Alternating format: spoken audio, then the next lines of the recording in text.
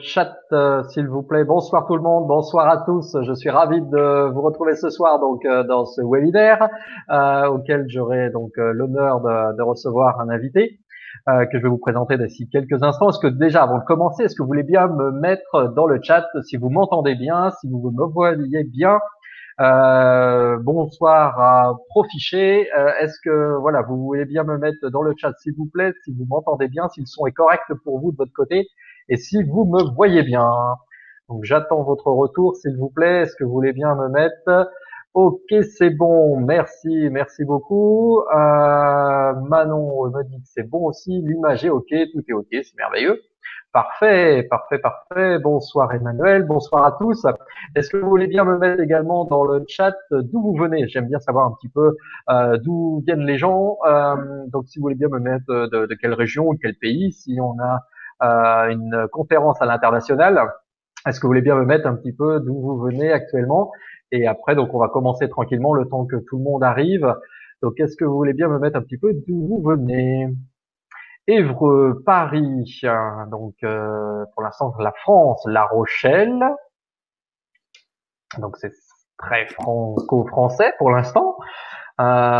Toulouse, Toulouse, Notre invité vient de Toulouse. euh, ok, donc génial. Donc ce qu'on va faire, on va commencer tranquillement. Euh, puis les gens voilà, vont arriver euh, bien tranquillement. Donc ce soir, on, ce soir, on vous a prévu quelque chose de relativement bien sympathique. Donc vous savez comment voilà mes thématiques de prédilection, donc la bourse, l'immobilier et le business.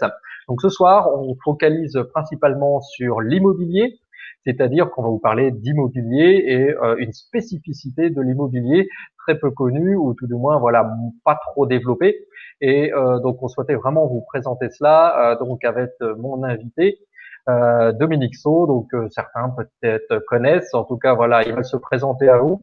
Donc Dominique, donc voilà, on se connaît depuis quelque temps et on, voilà sa spécificité. Donc c'est, il a travaillé dans la finance depuis 20 ans, un peu comme moi. Et euh, euh, il est également conseiller en gestion de patrimoine et euh, il, s'est détaché un petit peu du côté euh, de la gestion de patrimoine pour vraiment axer sur, euh, bah, il va vous l'expliquer vous-même, mais surtout pour développer les, les savoir comment faire pour investir et euh, également investir dans des dans des solutions ou investir sur soi-même également à travers donc euh, différents euh, différents critères, différents aspects. Et donc il va se présenter directement à vous pour vous en dire plus. Donc Dominique, est-ce que tu veux bien nous retrouver et pouvoir te présenter, s'il te plaît? Bonsoir, Dominique. Est-ce que est-ce que vous me voyez, vous m'entendez? Ça va? Jérémy, de ton côté, c'est bon? Pour moi, c'est parfait. Je t'entends et je te vois. Bon, ben super. En tout cas, ravi de, ravi de prendre part à cette, à cette, à cette session avec toi. Merci de, de ton invitation. Ben, merci, merci à toi de prendre le temps de, de voilà, de, de, prendre un peu de temps pour nous et euh, de pouvoir un peu voilà te présenter, présenter un petit peu ce que tu vas pouvoir nous proposer et nous expliquer. Surtout, voilà, on a hâte de savoir un petit peu ce que tu fais et ce que tu vas, voilà, quelles sont tes spécificités et tes petits secrets. Dis-nous en plus. Voilà. Je, alors, je vais pas vous donner tous mes petits secrets parce que ça pourrait faire partir les gens. Ah bah dommage, dommage, dommage. On en refera un autre, alors, on en refera un autre voilà, c'est ça, sur, sur, différents types de thèmes. Euh, bah, écoute, en tout cas, non, je suis ravi parce que ton, ton blog est, est très inspirant sur le thème prospérité, investissement. Euh, je crois qu'on est un certain nombre de, de, de, de, spécialistes, en quelque sorte, de la, de la, finance et de la gestion du patrimoine au sens large, à être euh, euh sensibilisés au fait d'aider les gens à, à, mieux comprendre ce qu'on peut faire avec l'argent, euh, se déculpabiliser, euh, pouvoir à la fois bien utiliser l'économie pour devenir un acteur responsable. Et c'est vrai depuis plusieurs années, on, est euh, en recherche de solutions qui permettent à la fois, euh, eh bien, euh, de, gagner, de faire, de mettre l'argent au travail, donc de, tirer des résultats, des rendements, euh, mais en comprenant ce qu'on fait avec l'argent, avec des actions responsables. Voilà, ça s'appelle impact investing. Pour les plus curieux d'entre vous, vous, pourrez aller voir sur internet. Impact investing. Alors en, France ou en Europe, c'est l'économie sociale responsable, mais souvent quand on parle d'économie sociale et responsable, on, on a peur d'être un peu dans la philanthropie, le Or, en réalité, pas du tout. On peut aujourd'hui euh, euh, tirer son épingle du jeu tout en euh, ayant des causes utiles et, en mettant du sens dans les finances. Donc, avec le Centre Impact Expert que j'ai mis sur pied, eh bien, on, partage ce type de vision. Donc, pour tous les gens qui aiment comprendre ce qu'ils peuvent faire avec leur argent, trouver des véhicules utiles, des méthodologies, eh bien, voilà, on, fait notre part sur ce terrain de jeu. Génial, super. C'est exactement ça. Voilà, c'est là qu'on se retrouve. Euh, en effet, voilà, moi, j'apprends également aux gens, de par mon expérience, comment comment faire pour investir, quels sont en effet les chemins ou les véhicules, comme tu dis, euh, pour investir le plus efficacement et euh, le plus sereinement possible en gérant ses risques. Et, et c'est là qu'on se retrouve. Et c'est là que voilà, d'où cette cette conférence de ce soir. Absolument. Vas-y, vas-y, dis-nous en plus. Ah, bah écoute, en tout cas, alors voilà, ce qu'on va pouvoir, l'idée de ce soir, c'était vraiment euh, de, de, de, faire un, gros tour d'horizon. Euh, ça fait une vingtaine d'années que je suis dans la finance et, et ce qui euh, ce qui apparaît souvent, c'est qu'on se complique la vie avec la finance. Donc ce soir, c'était de faire un gros tour d'horizon sur euh, les grands enjeux d'une stratégie financière et petit à petit de redescendre jusqu'à une solution extrêmement précise dont certains d'entre vous ont peut-être entendu parler, qui s'appelle la SCPI. Alors justement, on voulait éventuellement faire un petit test. Alors je ne sais pas si si ça a fonctionné, mais je crois qu'il y avait un. Ouais, on avait en Ouais, euh, bah, vas-y, vas-y, vas-y. En effet, on avait prévu, voilà, vous savez comment je fonctionne. Généralement, j'aime bien avoir une interaction avec euh, avec vous, et donc euh, voilà, le but c'était de savoir un petit peu comment vous, voilà, je ne sais pas si vous voyez la question. Euh, ce soir, j'ai délégué la technique, donc je ne gère pas la technique. Euh, ça fait du bien. Et, euh, et, du coup, voilà, donc on a prévu un mini sondage. Donc, euh, dites-moi bien si vous voyez le sondage et surtout répondez à la question, à savoir, voilà, est-ce que vous avez déjà investi dans l'immobilier? Donc, merci de répondre euh, à ce sondage ou dans le chat si tu vois ça, voilà, il y a un petit souci technique. Donc merci de nous dire si vous avez déjà investi dans l'immobilier et si oui, sous quelle forme. Voilà, on a, on a le, le donc logiquement les, les, participants voient la question, donc euh, et, on voit même euh, le, le, le, comment on appelle ça, le résultat euh, quasiment en, temps réel. Donc euh, voilà, je ne sais pas si nous on va avoir ce retour, mais en tout cas on va on va pouvoir avoir une, une, statistique, une statistique parce que c'est vrai que l'immobilier, ouais, l'immobilier reste reste la valeur refuge en pratique, euh, comme on dit souvent. Donc on va on va balayer ça. Donc ce que ce que je vous propose, c'est que je vais basculer mon écran, je vais aller, euh, je vais disparaître un petit peu euh, et je vous retrouve dans dans quelques secondes avec un petit diaporama. Ne zappez pas. Moi je fais abracadabra et hop il disparaît. voilà. Donc moi je suis toujours là. Euh, Dominique est là aussi, le temps qu'il prépare sa technique, et ça va arriver d'ici quelques instants. Voilà, on voit ton écran, c'est merveilleux. Ah bah, Parfait. C'est génial. Donc on a déjà des, choses aussi dans le chat. Donc euh, donc il y a Prochet qui nous dit qu'il a deux appartements, un en locatif et un en résidence principale. Eh ben c'est déjà pas mal ça déjà. Euh, voilà, un investisseur. On va appeler ça comme ça. C'est un investisseur. Voilà, il a passé le cap. Et euh, donc c'est génial ça, Profichet, c'est super. C'est génial, génial. Donc j'ai pas après, bon, je pense que Dominique, tu nous diras peut-être après plus tard le, le, résultat un petit peu du, du sondage, savoir un petit peu euh, voilà quels sont les, les résultats euh, ou si on peut euh, si éventuellement Manon peut nous dire un petit peu les chiffres éventuellement aussi euh, si Manon tu les as si tu peux éventuellement donc nous dire un petit peu les grosso modo les, les pourcentages des, du sondage voilà, euh, c'est une grosse part de, de gens qui n'ont pas encore investi dans l'immobilier, plus de 70% qui n'ont pas encore investi dans l'immobilier.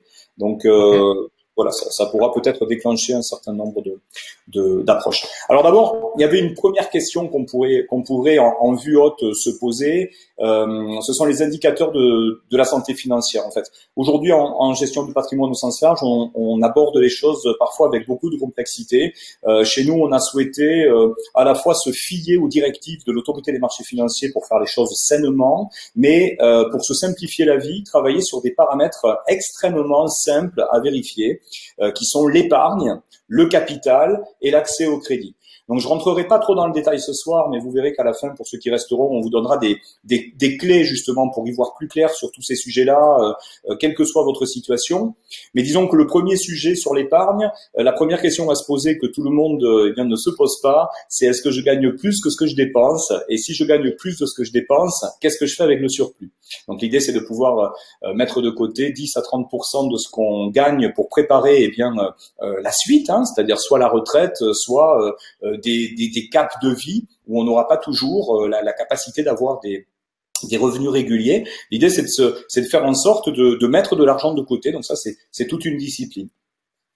Et puis, euh, on a le, le, capital. Donc, sur la question du capital, l'idée, c'est de se demander comment on va pouvoir diversifier son capital. Euh, donc, on va euh, se donner ce soir quelques axes de réflexion là-dessus, sans oublier l'accès au crédit. Euh, il est clair aujourd'hui que les Français en particulier n'aiment pas utiliser le levier du crédit. Or, nous sommes dans une époque où il faudrait presque aller chercher son petit quota de 33 à 40% du revenu euh, qu'on peut transformer en mensualité, c'est-à-dire aller voir votre banquier et dire voilà monsieur le banquier, combien vous seriez prêt à me prêter pour que j'investisse dans l'immobilier ou que globalement j'investisse dans des, des que, que, j'utilise le levier du crédit pour euh, pour mettre euh, un capital de côté. Donc euh, tout ça, ce sont des stratégies qui sont très très simples à, isoler et qui, vous le verrez, répondent parfaitement à ce qu'on appelle les tests d'adéquation de, l'autorité des marchés financiers. On vous donnera quelques quelques éléments de, de, de suivi tout à l'heure pour ceux qui resteront avec nous jusqu'à la fin. Alors, euh, aujourd'hui, la, la, première euh, clé, les questions à se poser quand j'investis, la première, grosso modo, c'est de faire les choses avec de la sécurité. C'est de, de, garder euh, trois mois de, salaire disponible en permanence. Alors ça, pour euh, un financier, c'est pas très sexy, hein, parce que euh, trois mois de salaire, si je dois les avoir sur des comptes, eh bien, il faut jouer la sécurité. Donc, je vais toujours utiliser les comptes réglementés pour donc le livret A, le LDD, être sûr de faire face à des à-coups, changer de lave-vaisselle, partir en vacances, enfin, avoir de la donc tant que je n'ai pas cette réserve de trésorerie, l'investissement est encore prématuré. C'est-à-dire que d'abord c'est la survie. Donc euh, cette euh, cette règle, elle est extrêmement importante. Vous pourrez euh, l'écrire en lettres d'or sur votre cheminée. Une fois que vous avez ces trois mois de côté, la question devient qu'est-ce que je fais du surplus? Et là, vous avez aujourd'hui deux grandes familles d'investissements, soit l'immobilier, soit le financier. Euh, le financier, essentiellement, aujourd'hui en France, on va le trouver avec l'assurance vie. Euh, ça peut être soit des choses très sécurisées comme les fonds en euros, mais pour ceux qui ont entendu parler de ça, méfiez-vous. On va vous poser ce soit une alternative aux fonds en euros parce que euh, les fonds en euros sont en perte de vitesse euh, massive. Euh, ce sont des fonds aujourd'hui qui ne rapportent quasiment plus rien. Donc voilà, il faut être très attentif à, ne pas forcément rester sur l'assurance vie dans ce contexte-là. Et puis ce qu'on appelle des unités de compte où là on investit dans des actions, des obligations, ce qu'on appelle des SICAV, des fonds communs de placement. Donc là on prend par contre des risques pour euh, finalement une rémunération qui n'est pas toujours à l'ordre du jour. Euh, considérer aujourd'hui que voilà, les fonds sécurisés tournent autour de 1%, 1,5%. Euh, les fonds en unité de compte, euh, si vous n'êtes pas en capacité de gagner au moins 8%, c'est pas la peine de prendre des risques dans des actions. Donc ici, c'est important d'avoir des indicateurs parce que l'immobilier, euh, un immobilier raisonnable, euh, on, le verra tout à l'heure, va vous rémunérer euh, dans, l'habitation classique autour de, de 3,5% net, parfois 5, parfois 8, parfois plus. par contre, sur les fonds de type financier, voilà, il faut être très très attentif aujourd'hui. L'assurance vie n'a plus le vent en poupe. On assiste pour la première année à ce qu'on appelle de la décollecte, c'est-à-dire que les gens quittent l'assurance vie. Donc, euh, alors Jérémy, tu interviens quand tu veux. Hein, ne, te prive pas de si tu as des remarques, euh, parce que je sais que tu es très aguerri sur ces sujets. Oui, non, mais je partage tout à fait. Euh, en effet, c'est exactement ça. En effet, l'assurance vie aujourd'hui, euh, voilà, sont plus avec les dernières lois qui ont été euh, qui ont été votées l'année dernière euh, sur le fait, voilà, de pouvoir, voilà, que l'État puisse se servir directement. C'est encore pire. Donc, en effet, ça peut être intéressant. Mais si votre assurance vie, bon, ça, j'en ai déjà fait quelques vidéos, mais je, je le répète pour ceux qui ne l'auraient pas vu, voilà, si votre assurance vie a plus de 8 ans aujourd'hui, fiscalement, vous avez aucun intérêt à, laisser votre argent dessus. Euh, voilà, sauf si c'est en effet une réserve, euh, mais sinon voilà, ça rapporte ça rapporte rien et c'est pour ça qu'on intervient aujourd'hui. voilà, pour revenir sur la bourse. Euh, bon, voilà, ceux qui me suivent, ils savent, voilà, mon côté un petit peu investissement en, bourse et les solutions que je préconise dans ce domaine où on peut avoir des choses quand même sécurisées, mais avec un, un, effet de levier plus intéressant. et en effet, le, voilà, ce que ce que nous propose Dominique ce soir, voilà, une spécificité de l'immobilier qui, qui, est en effet relativement attrayant. Absolument. Donc euh, voilà, donc l'idée, les, questions ici, c'est se dire au fond, est-ce que j'investis sur du moyen, du long terme ou du court terme hein, parfois? Est-ce que je suis vraiment sur une notion d'actif? C'est-à-dire, est-ce que là où j'ai placé mon argent, ça rapporte? Si j'ai 100 euh, de placés, bah, le but, c'est que ça me rapporte peut-être euh, 2 si c'est très sécurisé, 5 si c'est moyen, et 8 euh, et plus si c'est dynamique. Donc l'idée, c'est est-ce que mon actif rapporte? Est-ce que j'ai placé mon argent dans des endroits qui rapportent? Et puis du coup, et on va l'aborder beaucoup ce soir, comment je minimise mes risques. Et là, on va parler de mutualisation, grosso modo s'y mettre à plusieurs. Et la diversification, c'est ne pas mettre ses œufs dans le même Donc on va euh, on va regarder ça dans le détail. Alors la deuxième question, c'est pourquoi l'immobilier est-il le placement préféré des Français? On est tous finalement euh, euh, voilà enclins à avoir un patrimoine immobilier et, et c'est pas un secret, c'est parce que les gens ont du bon sens. D'abord le capital immobilier, une fois qu'il est placé, eh bien il est palpable, c'est-à-dire vous pouvez le toucher. Mais l'autre caractéristique, c'est qu'il va générer des revenus il travaille. C'est un capital qui travaille et on comprend que bah, les revenus travaillent parce qu'on les touche tous les mois. C'est parfois presque plus facile à suivre euh, qu'une assurance vie où finalement les revenus sont capitalisés, comme on dit. Alors on, on les voit pas, alors que le loyer, celui-là, vous l'encaissez tous les mois. Euh, et puis au-delà de ça, il va y avoir la plus-value. Et donc ça, c'est un autre aspect du capital euh, immobilier, c'est qu'il se valorise dans le temps. Donc en fait, l'immobilier, c'est quelque chose qui est, c'est grosso modo, c'est du, du 4 étoiles. C'est-à-dire vous avez euh, tous les aspects de ce qu'on pourrait demander quand on met son argent au travail. Euh, donc le capital qui est là, qui est durable, qui va se valoriser et euh, qui peut générer des revenus euh, pendant toute la durée de détention. Donc on est vraiment ici sur quelque chose qui a du sens. Le problème, c'est que... alors juste Juste une, juste une chose, excuse-moi, ouais, je vais, je vais juste euh, voilà intervenir également. Euh, en effet, c'est le, le, placement préféré des Français et euh, comme euh, juste une petite parenthèse par rapport à cela, par rapport à voilà, on est souvent comment je vais dire, on est souvent identifié ou tout le moins comparé, voilà, c'est ça, on est souvent comparé à nos voisins allemands et pour faire juste une parenthèse, moi qui connais relativement bien l'Allemagne, euh, faut savoir que les Français euh, représentent à peu près sont à 60% propriétaires contre 40% locataires euh, en France. Et en Allemagne, c'est l'inverse. Il y a euh, uniquement 40% de propriétaires pour 60% de locataires. Euh, donc on y reviendra peut-être euh, par la suite. Mais voilà, c'est vraiment faire voir qu'il y a quand même 20% de plus de propriétaires en France que l'Allemagne. Et donc c'est vraiment le, en effet, le placement préféré des, des Français, autant en, tant que résidence principale, mais euh, vraiment la pierre euh, en tant qu'investisseur. Et c'est vrai que c'est extrêmement intéressant euh, d'investir également dans la pierre, et c'est vraiment quelque chose qui nous tient à cœur, nous Français. Absolument, Jamie. Et c'est vrai qu'il y a des spécificités avec l'Allemagne euh, extrêmement importantes euh, qui, qui font que euh, non seulement d'ailleurs on peut s'intéresser aux, aux, aspects, aux aspects immobiliers en France, mais même dans une échelle européenne. Et on, verra ça tout à l'heure.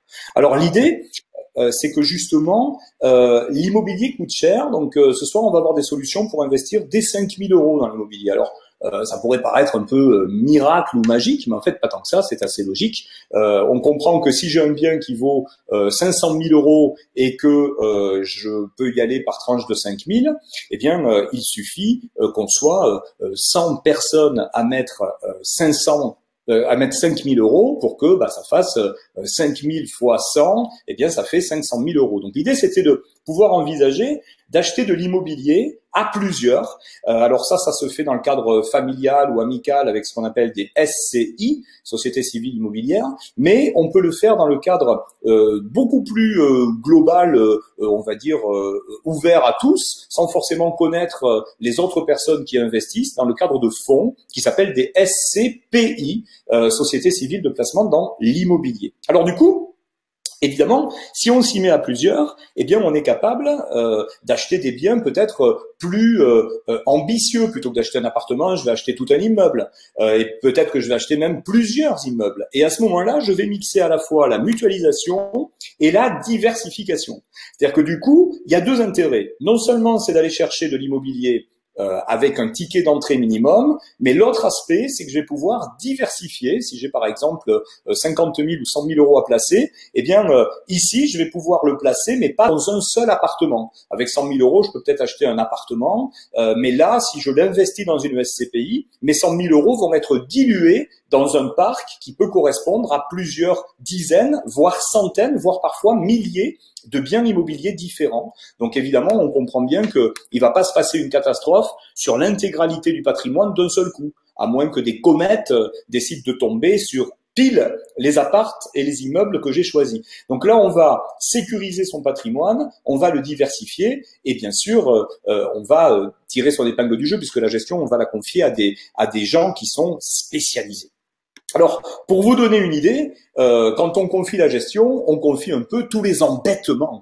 Euh, Quelques-uns d'entre vous donc sont des propriétaires immobiliers avertis. Euh, il y a cette idée que quand je suis propriétaire immobilier, je dois acheter, donc je, je dois être un bon acheteur, puisqu'on sait qu'on fait la plus-value à l'achat. Je dois trouver les locataires, je dois entretenir le bien, je dois gérer les loyers, et puis je dois euh, savoir revendre euh, de manière intelligente et, tirer mon épingle du jeu. Donc ça fait beaucoup. Et donc la SCPI va permettre de se dédouaner de toute cette gestion. J'ai pas besoin de passer chez le notaire, ça se signe avec un bulletin de souscription en 20 minutes, et surtout c'est encadré par l'autorité des marchés financiers. C'est-à-dire que c'est une manière excellente de faire de l'immobilier, mais avec tous les avantages euh, de la sécurité du gendarme de la bourse, on va dire.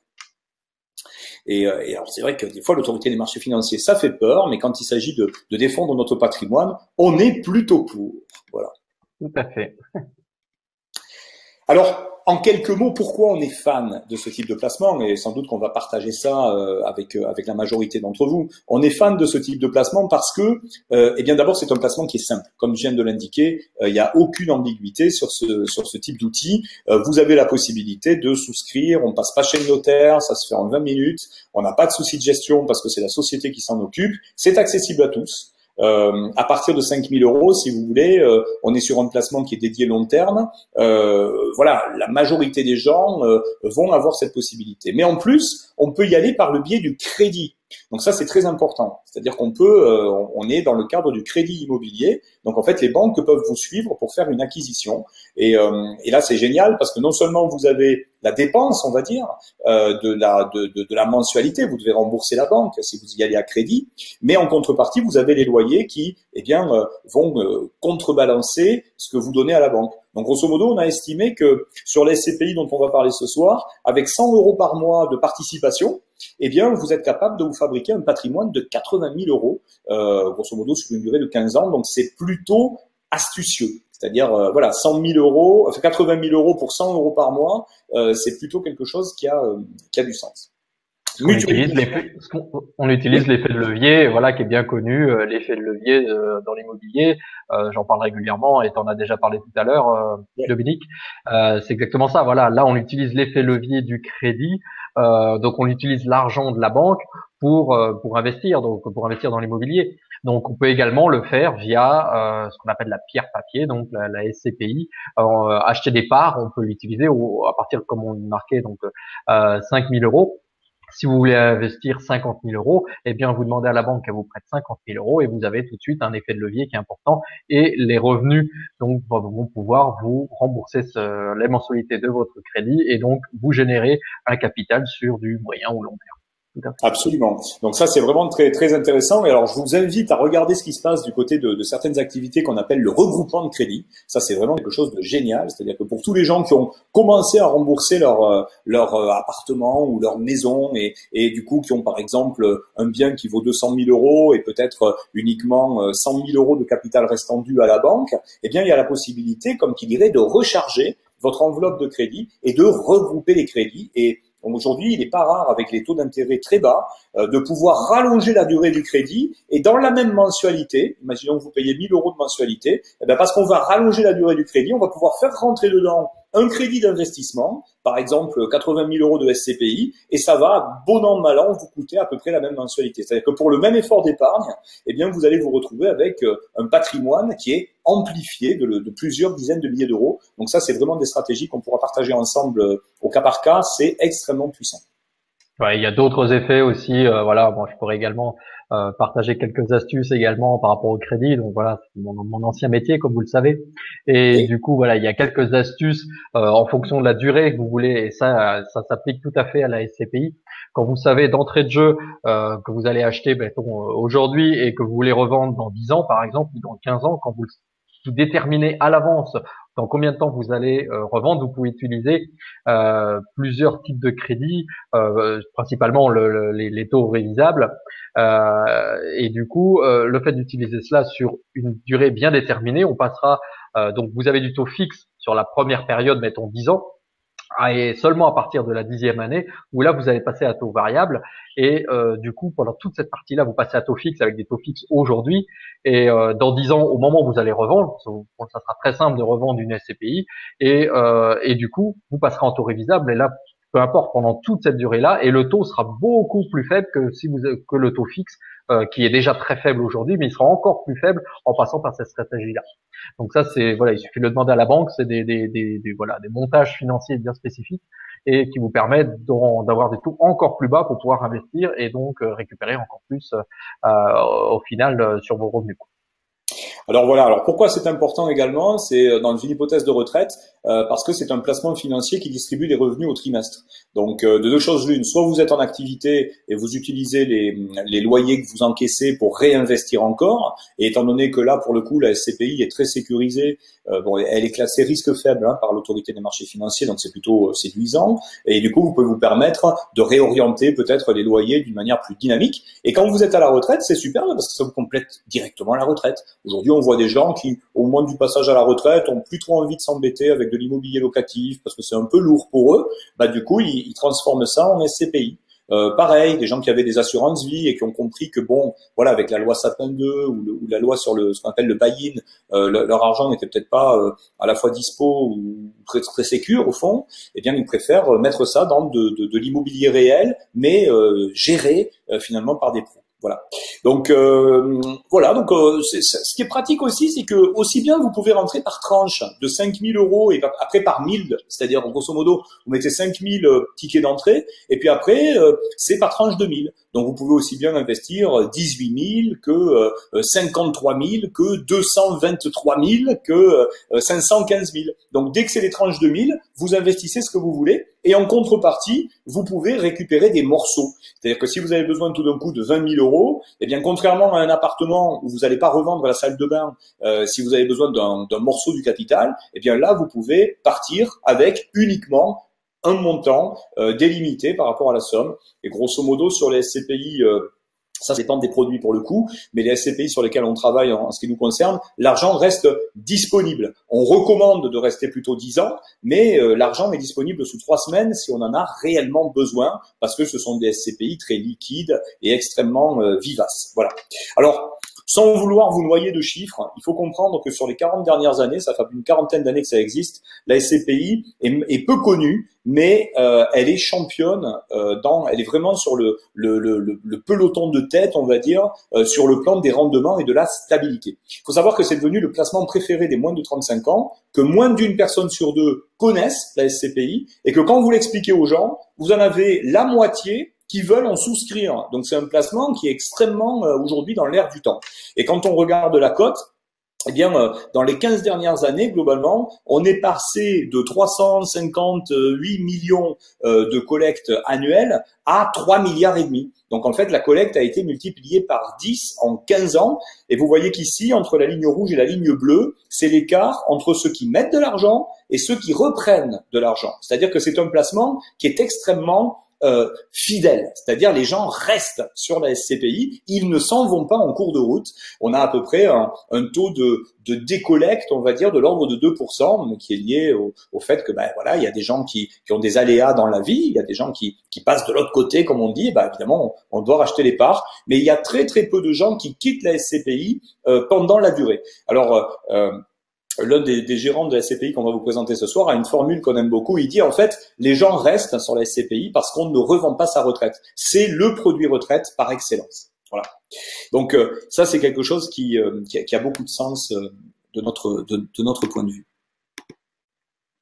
C'est surtout, surtout, extrêmement rentable, c'est surtout extrêmement rentable, euh, parce que voilà, euh, en effet, quand on voit les rendements aujourd'hui, comme tu disais tout à l'heure, de l'assurance vie ou des obligations ou autres, euh, pour la retraite, avoir une, une rentabilité euh, quasi euh, régulière, euh, automatiquement, voilà, c'est extrêmement euh, satisfaisant et surtout euh, sécurisant pour le pour les retraités parce que automatiquement, voilà, ils savent que tous les trimestres, il y a tant qui va tomber sans rien faire, tout simplement, et ça c'est extrêmement sécurisant.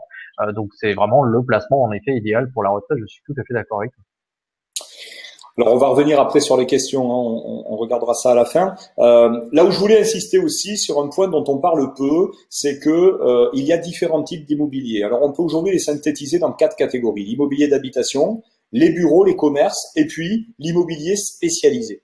Alors Ici, euh, pareil, j'aimerais attirer votre attention sur des, des règles simples. Dans l'immobilier d'habitation aujourd'hui, on entend beaucoup de choses sur. Euh, il y a plein d'astuces, euh, la colocation, la, la, la, courte durée, euh, le loyer euh, qui va être versé. Mais vous savez qu'aujourd'hui, on a dans l'habitation le risque de pas toucher ses loyers pendant la période hivernale. On a un certain nombre de, de problématiques. Donc, l'habitation reste un univers sur lequel on va être extrêmement euh, euh, vigilant. Aujourd'hui, on s'aperçoit qu'en moyenne, euh, l'immobilier d'habitation va vous servir dans le neuf, grosso modo, 2,5% de rentabilité nette. C'est pour ça qu'on a beaucoup de, lois de défiscalisation qui accompagnent hein, le locatif dans l'habitation.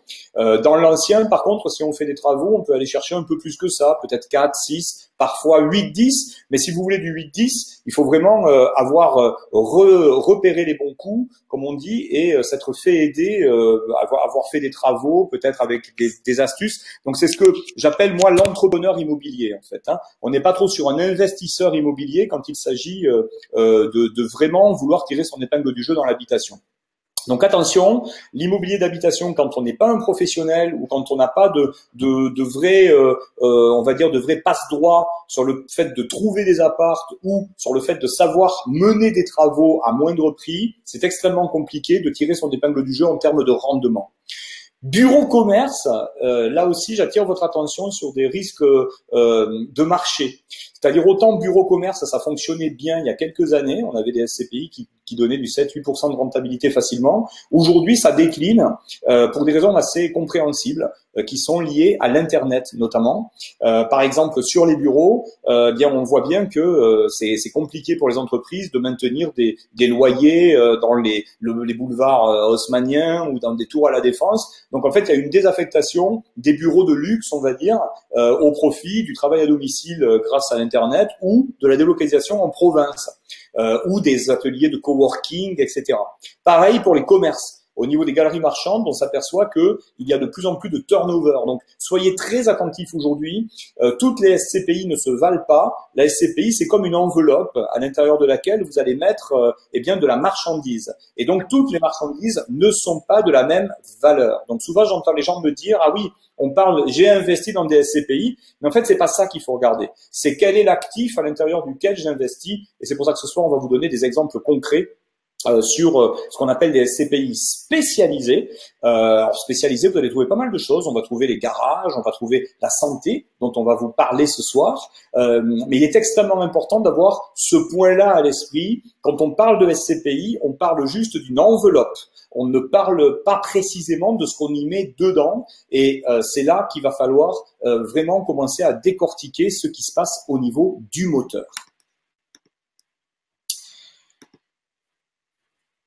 Voilà, donc c'est pour ça qu'on va zoomer ce soir sur ce qu'on appelle euh, les SCPI spécialisés. euh, et en particulier l'impact investing. Donc j'en parlais tout à l'heure. Euh, euh, donc on va pouvoir. Alors nous, ce soir, on va vous parler spécialement de, de l'immobilier dans la santé, pas par hasard, parce que vous allez voir que là, je vais vous passer un petit reportage de BFM qui vous indique dans quoi investir et, et à quoi il faudrait avoir l'œil aujourd'hui. Mais le spéciali la spécialisation pourrait nous amener sur des domaines comme l'éducation. Donc ça pourrait être dans des écoles, ça pourrait être dans des garages, ça pourrait être à différents types d'endroits où vous avez euh, quelque chose de spécial euh, qui va euh, permettre d'avoir un immobilier hautement rentable. Alors, qu'on va faire ici, c'est que je vais vous basculer une petite vidéo euh, qui va vous expliquer ce que dit BFM par rapport à euh, cette manière d'investir dans l'immobilier.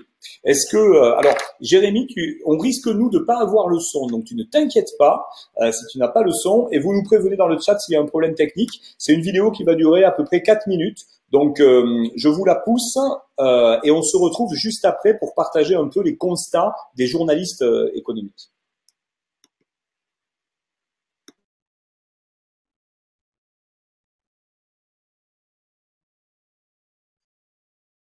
Ça arrive, voilà, tout va, bien, le temps que ça charge. Ça va arriver d'ici quelques secondes, le temps que Dominique charge la vidéo.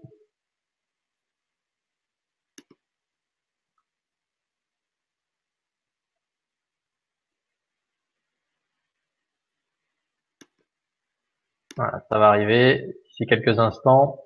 Patientez. Voilà, les choses arrivent. Voilà, Dominique gère la technique qui va mettre la vidéo d'ici quelques instants.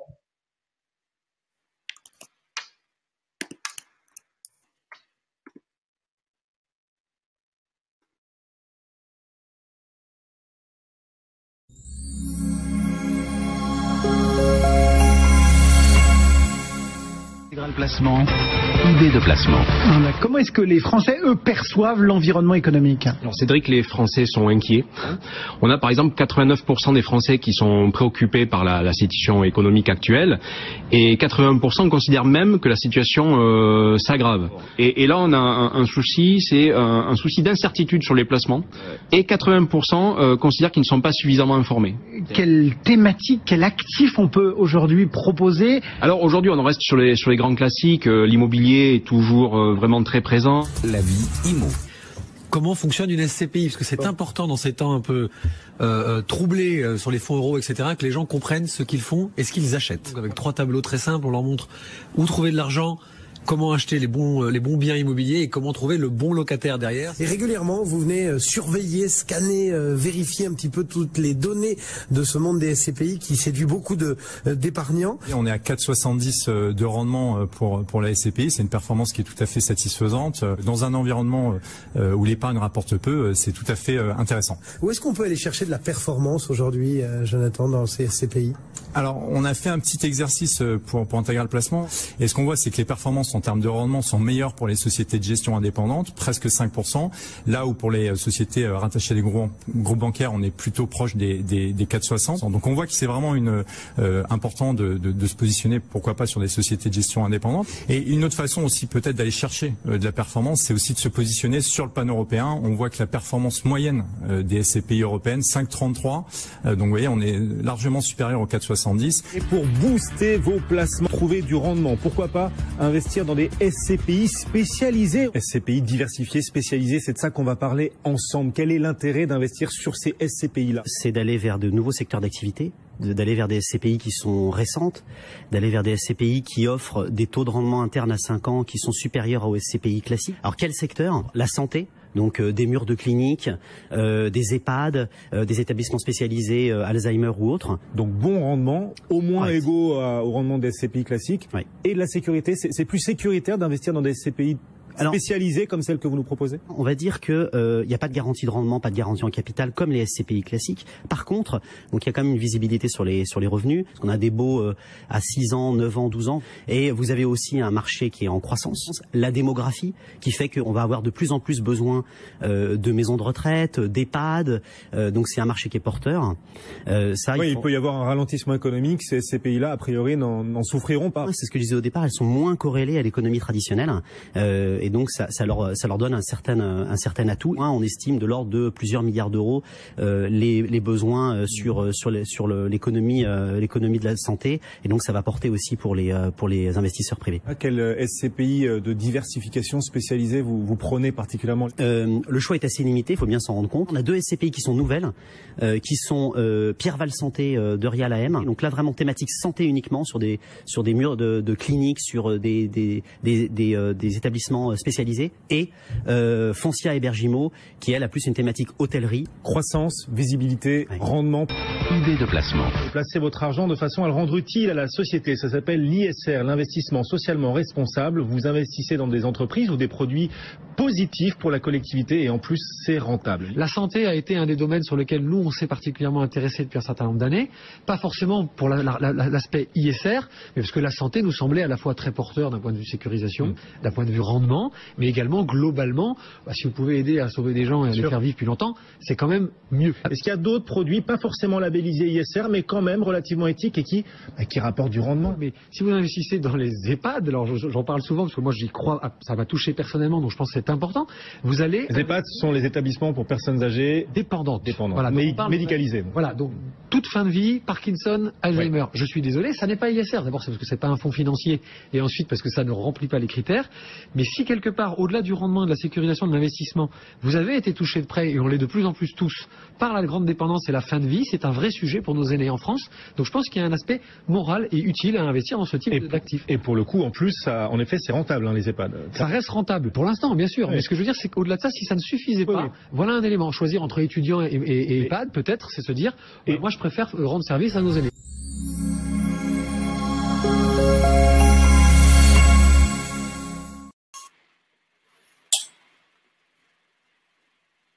Voilà, donc voilà cette vidéo. Voilà. euh, donc, bah, je te laisse continuer. Vas-y, Dominique. hein. Je- bon, Il y a des Oui, questions, ben- donc euh, juste pour préciser que les questions, donc euh, nous y viendrons à la fin de la présentation. Donc voilà, on, on- voilà, on répondra à toutes les questions, bien entendu, euh, à la fin de cette présentation. Et surtout, restez bien euh, jusqu'à la fin, car on a une surprise pour vous. Donc euh, à la fin. Donc restez bien jusqu'à la fin de, de ce webinaire. Euh, Vas-y, Dominique. Ouais, ben merci. Donc du coup, ce qui était super euh, dans, dans- dans cette sélection de revues de presse, c'est qu'en fait, euh, tout est dit. C'est-à-dire, on nous dit aujourd'hui que oui, on peut faire de l'immobilier. On nous suggère de plutôt le faire en SCPI. On nous dit attention, il y a quelques SCPI à cibler. Il faut plutôt qu'elles soient indépendantes. Euh, aujourd'hui, en France, vous avez une cinquantaine de sociétés de SCPI. Euh, il y en a que cinq qui sont euh, indépendantes. Sinon, c'est plutôt les banques et les compagnies d'assurance. Donc, on sait par exemple que l'an dernier, la, la moyenne des rendements de SCPI était de 4,68% et c'était au-dessus systématiquement pour les sociétés de gestion indépendante parce que c'est un peu le côté euh, eh bien spécialiste de tel ou tel thème. Donc en fait, euh, et, le, et le dernier critère, c'est le critère européen. Donc on va voir maintenant un exemple euh, d'une solution et on va décortiquer, on va un petit peu voir ce qui se passe dans le moteur et vous allez voir que c'est très intéressant parce que là vraiment on va comprendre ce qu'on fait avec son argent. Alors je rebascule, je vais disparaître quelques secondes. Voilà. Donc voilà, donc euh, je sais pas, donc Dominique, euh, comme tu nous entends également, juste avant de, de, de continuer ta présentation, est-ce que tu peux juste répondre à Telly en demandant la présentation prend combien de temps? Est-ce que, est-ce que tu, sais pas si tu m'as entendu, euh, je, sais que ça coupe euh, entre les deux, donc Telly nous demandait combien de temps va durer la présentation. Je pense que là on a on a fait quasiment la moitié, donc euh, voilà, ça va. euh, bah, est-ce que tu peux nous dire un petit peu combien de temps il reste un petit peu de présentation euh, prévue euh, de ton côté? Oh, je pense d'ici une vingtaine de minutes, on aura terminé. On a, on a fait l'essentiel. hein. Donc à, à partir du moment où après c'est les questions, mais disons que Oui. là, voilà, maximum une vingtaine de minutes. Je pense qu'on aura, on aura, on aura fait le, le tour. On avait prévu une heure, donc c'est à peu près ça. Ouais, c'est ça, on avait prévu à peu près ça. Donc voilà, donc Telly, donc voilà, reste bien jusqu'à la fin, encore quelques quelques instants, et après on, on répondra déjà, je répondrai d'une part à ta question, et euh, et voilà, en plus on pourra répondre également à toutes vos questions. Vas-y, euh, Dominique, je nous t'écoutons. Avec plaisir. Donc en fait voilà, pour ceux qui resteront euh, jusqu'à la fin, on vous donnera accès à, à, un module où vous aurez plein d'informations très intéressantes. D'abord pédagogique pour comprendre ce qu'est la SCPI avec euh, tout un dossier de presse qui fait plus de 60 pages, donc vous aurez de quoi vous amuser. Et puis surtout, euh, on va aller dans le détail avec des interviews des gérants. Ça c'est quelque chose qui est extrêmement rare, c'est de pouvoir euh, parler avec les gens qui pilotent le placement. C'est extrêmement important aujourd'hui de, de, de remettre de l'humain euh, dans la finance et dans les investissements, notamment quand on, comme ce soir, eh bien on consulte euh, tout ça par le biais de la fenêtre d'internet et avec euh, bah, tout ce qu'on entend. hein. Aujourd'hui, c'est vrai que un certain nombre de gens euh, euh, sont euh, mal à l'aise euh, avec internet parce qu'on on ne sait pas trop euh, qui est de l'autre côté. Donc, ce qui était très important pour nous, c'était de ramener de l'humain dans tout ça et de vous permettre de comprendre qu'entre le label de l'autorité des marchés financiers et les vrais gens qui ont pignon sur rue depuis plus de 20 ans, le monsieur que vous voyez là s'appelle Jean-Jacques Olivier, c'est le fondateur de cette société de gestion, euh, c'est quelqu'un qu'on se connaît très très bien depuis une bonne dizaine d'années, euh, c'est quelqu'un qui est éminent, ça a été un promoteur immobilier, il a monté euh, une agence d'administration de biens, il est président de l'association qui s'appelle Anacofi SIF, euh, Anacofi Immobilier, pardon, euh, qui, qui s'intéresse à, à, auprès de l'AMF euh, en tant que bien euh, partenaire de consultation de toutes les grandes préoccupations françaises. Après, vous aurez une interview avec David Fink, qui est vraiment quelqu'un de brillantissime dès qu'il s'agit de, de parler de, de comment en fait choisir le bon bien immobilier, comment décortiquer les bilans. Donc c'est un vrai financier. Et puis vous avez Yann Gagné qui a cette connaissance de la relation avec les clients que cherchent aujourd'hui les gens, comment bâtir le produit qui correspond exactement à ce que les gens attendent. Donc euh, vraiment, euh, on est très heureux de vous offrir ce module. Donc euh, pour ceux qui resteront jusqu'à la fin, ce sera une occasion pour vous de voilà de connaître un peu le décor derrière finalement la plaquette, qui sont les hommes et les femmes qui construisent le placement au jour le jour. Alors ce placement de Clerval Santé, vous avez vu, il est cité par euh, euh BFM euh, parce qu'il est en passe de devenir la référence dans le domaine de la SCPI, parce qu'en fait, il, il a des éléments caractéristiques très spécifiques. Il est investi uniquement dans des biens qu'on appelle de l'immobilier de santé, c'est-à-dire des maisons de retraite, euh, des EHPAD, ce qu'on appelle des établissements pour personnes âgées dépendantes, et euh, des cliniques et des centres euh, pour accueillir des, des, professions libérales comme des ophtalmos, des centres de radiologie, etc. Et si je réfléchis avec ma tête, eh bien je comprends que euh, la santé, on en a tous une. Ça veut dire que s'il y a quelque chose d'important aujourd'hui à bien euh, intégrer, c'est que si je dois investir dans un sujet, autant que ce soit un sujet qui soit durable. Or, Quoi de plus durable que la santé? On est vraiment sur un secteur de prédilection. On sait aujourd'hui que l'espérance de vie augmente. Donc, euh, en revanche, ce qu'on ne voit pas toujours venir, c'est ce qu'on appelle l'espérance de vie sans dépendance. Aujourd'hui, on, on, vit de plus en plus vieux, mais comme on vit de plus en plus vieux, on a besoin d'être euh, accompagné médicalement, euh, et on voit aujourd'hui euh, bien les gens devoir dépenser pas mal d'argent au moment du départ en retraite, parce que non seulement il faut faire face à la retraite, et, et donc on n'a plus de revenus du travail, donc un pouvoir d'achat qui a baissé, mais en plus on a des frais de santé qui augmentent. Alors l'État fait ce qu'il peut, mais le citoyen, comme on dit, doit faire ce qu'il faut. C'est-à-dire que l'État n'est plus en capacité de construire assez de biens, euh, de, produits immobiliers pour accueillir le, personnel de santé et pour finalement euh, assurer que tout se passe euh, correctement pour l'accueil des malades.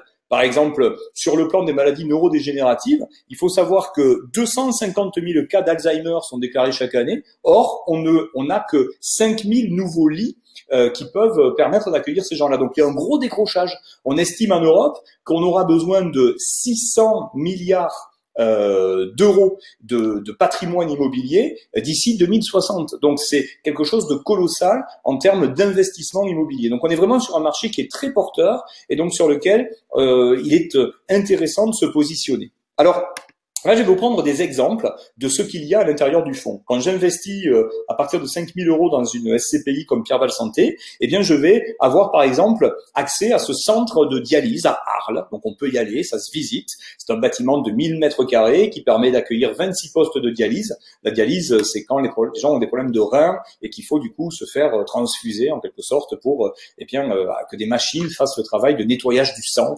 donc, c'est des choses assez lourdes. Et donc, vous imaginez bien que quand on a un centre de dialyse, euh, ben, il y en a pas à tous les coins de rue. C'est vraiment euh, un établissement qui est là pour durer. Euh, c'est un bail ferme de 12 ans pour une raison simple, c'est que quand vous êtes vous-même le patron euh, du centre de dialyse et que vous êtes locataire des murs, euh, pourquoi vous êtes locataire des murs? Ben Parce que les murs coûtent cher. Donc euh, déjà en tant que, que, que, que, propriétaire du fonds de commerce, il faut bien que je fasse tourner mon, mon, mon, business en quelque sorte. Donc en l'occurrence ici, eh bien si je suis le, le, le, patron, l'exploitant de ce centre, mes premiers investissements vont aller sur l'achat des machines, l'accueil de la clientèle, le recrutement du personnel et l'immobilier souvent. Eh bien je vais le louer. Je ne vais pas être propriétaire des murs parce que ce serait trop d'investissement. Donc en fait, les exploitants, les professions libérales sont de plus en plus locataires des murs euh, et du coup, ils veulent rester longtemps dans les murs parce que les murs, c'est leur outil de travail. Donc on va observer dans ce milieu de la santé des baux d'une durée longue. En moyenne, la durée d'un bail dans les bureaux, les commerces et les SCPI traditionnels est de 5 à 7 ans. Euh, et bien dans cette SCPI-là, on a une durée de bail moyenne de 10 à 12 ans. C'est-à-dire qu'on a quasiment une visibilité sur 10 à 12 ans des loyers qu'on va encaisser. Donc c'est extrêmement stable et donc sécurisant on voit que les loyers sont forts. Ici, on a un loyer qui est fixé à plus de 7%. Euh, donc, euh, c'est quelque chose qui est important. Donc, une fois que la société va faire son travail de gestion, euh, faire des provisions pour réparation, on va pouvoir servir un peu plus de 5% à l'utilisateur final. Mais il ne s'est occupé de rien. Donc, l'investisseur va toucher à peu près du 5% net. il faudra qu'il paye ses impôts là-dessus, on y reviendra. Mais l'avantage, c'est que sans s'occuper de rien, avec la sécurité qui est offerte par ce type de placement qui est dans la catégorie risque faible, eh bien, j'ai un niveau de rentabilité qui est difficile à égaler quand on sait aujourd'hui que le livret A est à moins de 1% et que les assurances vie euh, sécurisées donnent du 1,5, quoi, grosso modo. Là, je vais donner du 5, un peu plus de 5 net, et c'est quelque chose de très séduisant.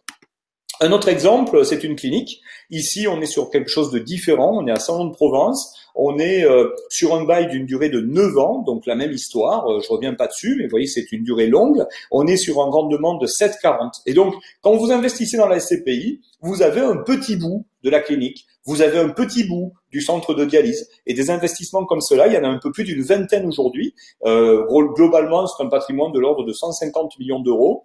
Euh, la SCPI collecte au moment où on parle entre 10 et 15 millions par mois, donc c'est un vrai succès commercial. Beaucoup de gens souhaitent investir dans cette SCPI-là en particulier. C'est pour ça qu'on est très heureux de vous la présenter. Donc, euh, je le redis, quand vous voulez investir dans une SCPI, gardez à l'esprit que certes, la SCPI apporte la souplesse de pouvoir aller vers de l'immobilier euh, sans finalement les inconvénients euh, à partir de 5000 euros, etc. Mais pour autant, on se retrouve avec un patrimoine qui reste voilà, qui reste à définir sur le plan de où est-ce que je mets réellement mon argent. Voilà. Jérémy, est-ce que tu es toujours avec nous? Parce que je ne te vois plus dans euh, mon écran ah, le voilà. Je suis là, je suis là. Non, non, mais je, je, j'avais juste enlevé mon, ma caméra de manière à ce que, voilà, que les gens profitent bien de, de, de ton diaporama, mais je suis là, je suis tout oui. Donc, je veux même aller plus loin, parce que moi, j'ai, j'ai bien entendu, avant de vous faire là, cette présentation avec euh, Dominique, j'ai bien entendu regarder tout cela de près également. Euh, et euh, en effet, donc voilà, il y a énormément de, de, biens. Donc là, on vous en présente que, que, deux, mais il y en a énormément. Il y en a en Allemagne, j'en parlais tout à l'heure, mais il y a également des, des établissements euh, voilà médicaux en Allemagne, euh, voilà qui, qui, qui, augmentent de plus en plus, comme je disais tout à l'heure, parce que automatiquement, comme il y a beaucoup de locataires, c'est extrêmement intéressant d'investir en Allemagne. Euh, tout le moins pour les Français, pour les propriétaires, euh, mais il y en a d'autres, des cliniques, en effet, des EHPAD, etc. Euh, là, on n'a pas parlé d'EHPAD, mais il y en a également, donc euh, voilà, peu partout. Et en effet, c'est une SCPI vraiment extrêmement intéressante euh, pour tous les points que Dominique a, a présenté. Je vais pas refaire le, la, la présentation, mais c'est en effet extrêmement, extrêmement intéressant.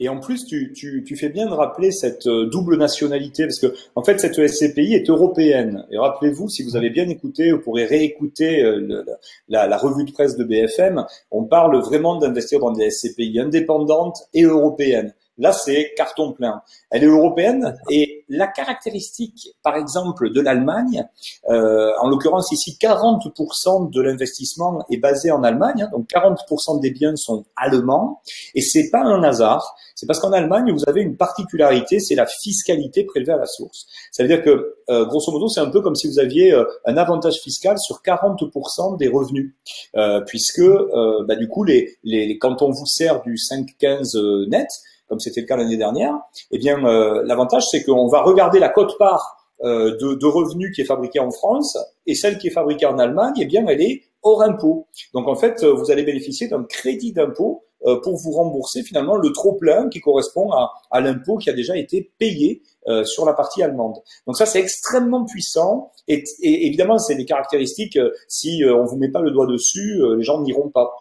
Même histoire. Souvent, on me dit, ouais, mais la SCPI, euh, c'est mieux pour la fiscalité de passer par le contrat d'assurance vie. Alors c'est vrai qu'il y a à regarder hein, sur le plan de la fiscalité, mais par contre attention aux frais, parce que quand vous passez par un contrat d'assurance vie, vous empilez les frais d'entrée de l'assurance vie et vous empilez les frais de gestion chaque année de l'assurance vie. Donc vous allez dégrader votre rendement.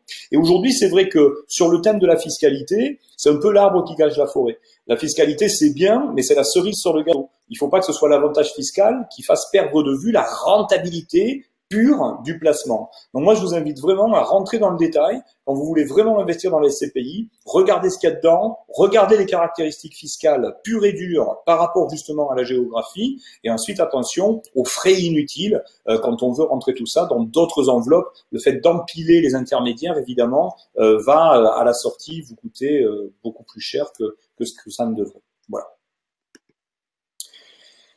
Alors, dernière caractéristique spécifique de ce placement, euh, c'est ce qu'on appelle le fonds de partage. Vous savez, il y a, un phénomène qui s'appelle euh, les 3 P, PPP, le partenariat public-privé, et là, on y est en plein. On parlait avec euh, Jérémy en introduction de ce qu'on appelle l'impact investing, donc ou l'économie sociale et responsable. Eh bien, ici, on y est en plein. En fait, cette SCPI, c'est la première qui bénéficie de ce qu'on appelle un comité scientifique, d'une part, et d'autre part, euh, d'un partenariat avec l'Institut du cerveau et de la moelle épinière, euh, qui va récolter des dons euh, grâce aux investissements. Eh bien, on participe au développement de ce fleuron de la recherche qui permet d'œuvrer en faveur des maladies neurodégénératives, en tout cas de la recherche pour lutter contre les maladies neurodégénératives. Donc euh, dans le, bonus qu'on va vous envoyer, vous verrez plein d'informations très intéressantes là-dessus. Alors évidemment, là on dépasse complètement le cadre de l'investissement, mais comme le disait le journaliste de BFM tout à l'heure, euh, si on peut euh, utiliser son argent, obtenir de la rentabilité et en plus de faire œuvre utile, ce serait dommage de s'en priver. Et puis il y a quelque chose de très intelligent dans le comité scientifique, c'est qu'en général, dans une SCPI, le comité, c'est juste un comité d'investissement, quoi. Ce sont des spécialistes de la finance et de l'immobilier. Ici, on a une dimension supplémentaire qui est le côté scientifique, c'est-à-dire où va la science, où va la santé, euh, où va la recherche sur les prochaines années. Par exemple, on sait que les établissements de santé dans les prochaines années ne seront plus calibrés pour accueillir les gens en, en, finalement en pension complète en quelque sorte. Les gens viendront le matin et ils rentreront chez eux le soir. C'est ce qu'on appelle la médecine ambulatoire. On dormira plus dans les établissements de santé demain. Ça c'est très important parce que si aujourd'hui vous investissez dans des, des, des biens immobiliers euh, de santé, mais que vous n'intégrez pas cette dimension de là où va finalement l'industrie de la santé, vous risquez d'investir au mauvais endroit.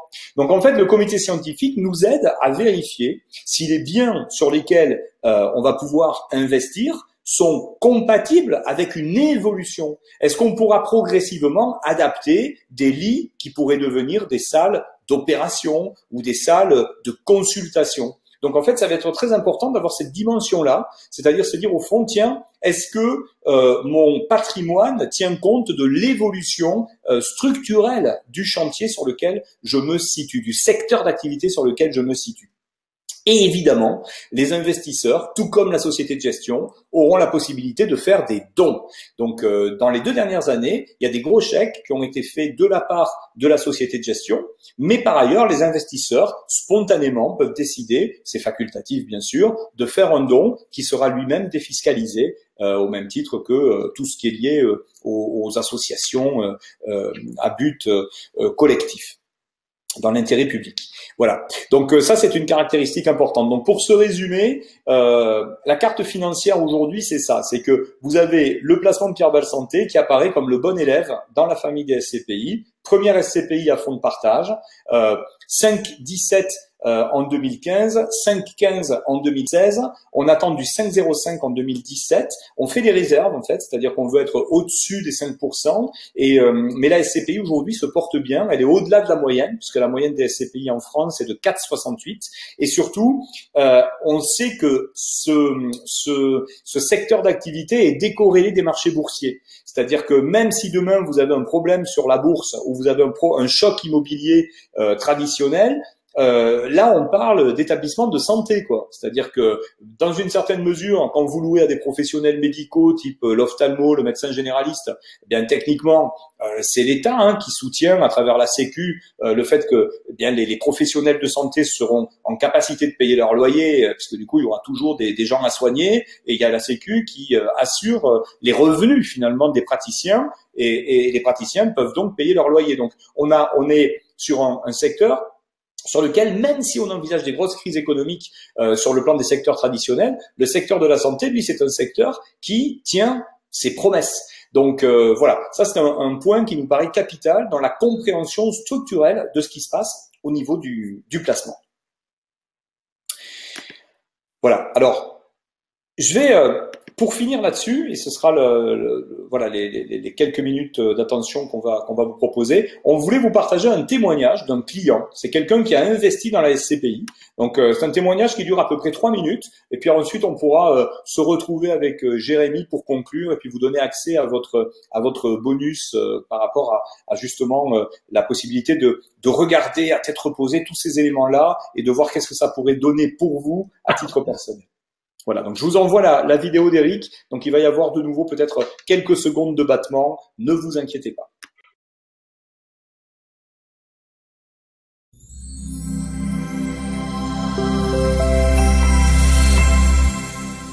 Donc moi, euh, je, vais, vous amener un témoignage euh, tout simple. Euh, effectivement, je suis client depuis ce début d'année sur Pierre Val, sur Pierre Val Santé. Et comment s'est passé le déclic? Eh ben, c'est tout simple. Aujourd'hui, on a tous un petit peu d'argent euh, bloqué à droite à gauche sur des livrets A, sur des tout un tas de choses, on va dire. Et puis, au fur et à mesure que les années passent, on s'aperçoit que ça rapporte pas grand-chose, pour pas dire rien.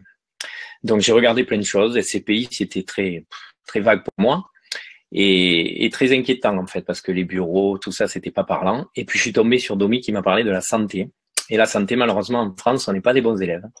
Et pouvoir aller investir dans quelque chose qui est sécurisé comme ça, parce qu'autant des bureaux, euh, il y en a moi partout, euh, il y en a, on a encore vu il y a pas longtemps avec Domi, pour pas dire ce midi, euh, autant de tout ce qui est la santé, la France est à la ramasse complètement. Donc, je pense qu'on a un avenir brillant pour le placement dans ce secteur-là, malheureusement. Mais c'est très sécurisant pour les gens qui vont investir là-dedans. Donc, ça, ça a été ma première démarche. Ce que j'ai trouvé très sympa aussi, c'est que quand on s'inscrit, j'ai mes petites docs à côté là, on investit dans, dans 13 établissements différents. Donc le côté diversité qu'on vient dans dans témoignages sont bien réels. Hein. C'est des, des investissements en France et à l'étranger. Et puis, ce qui m'a bien plu aussi, c'est d'avoir un revenu au trimestre, en fait. Moi, j'ai un boulot, je suis salarié. Euh, la retraite, euh, c'est un mot un peu tabou de nos jours parce qu'on ne sait pas si on l'aura. Et le fait, euh, dès aujourd'hui, d'avoir tous les tous les trois mois un petit revenu qui, tombe, euh, et ben ça m'a parlé. Je commence à créer ma retraite tout en ayant mon job. Voilà. Et petite chose que j'ai pas trop entendu parler ce soir, mais j'ai trouvé très sympa entre partir de, de 5000 euros.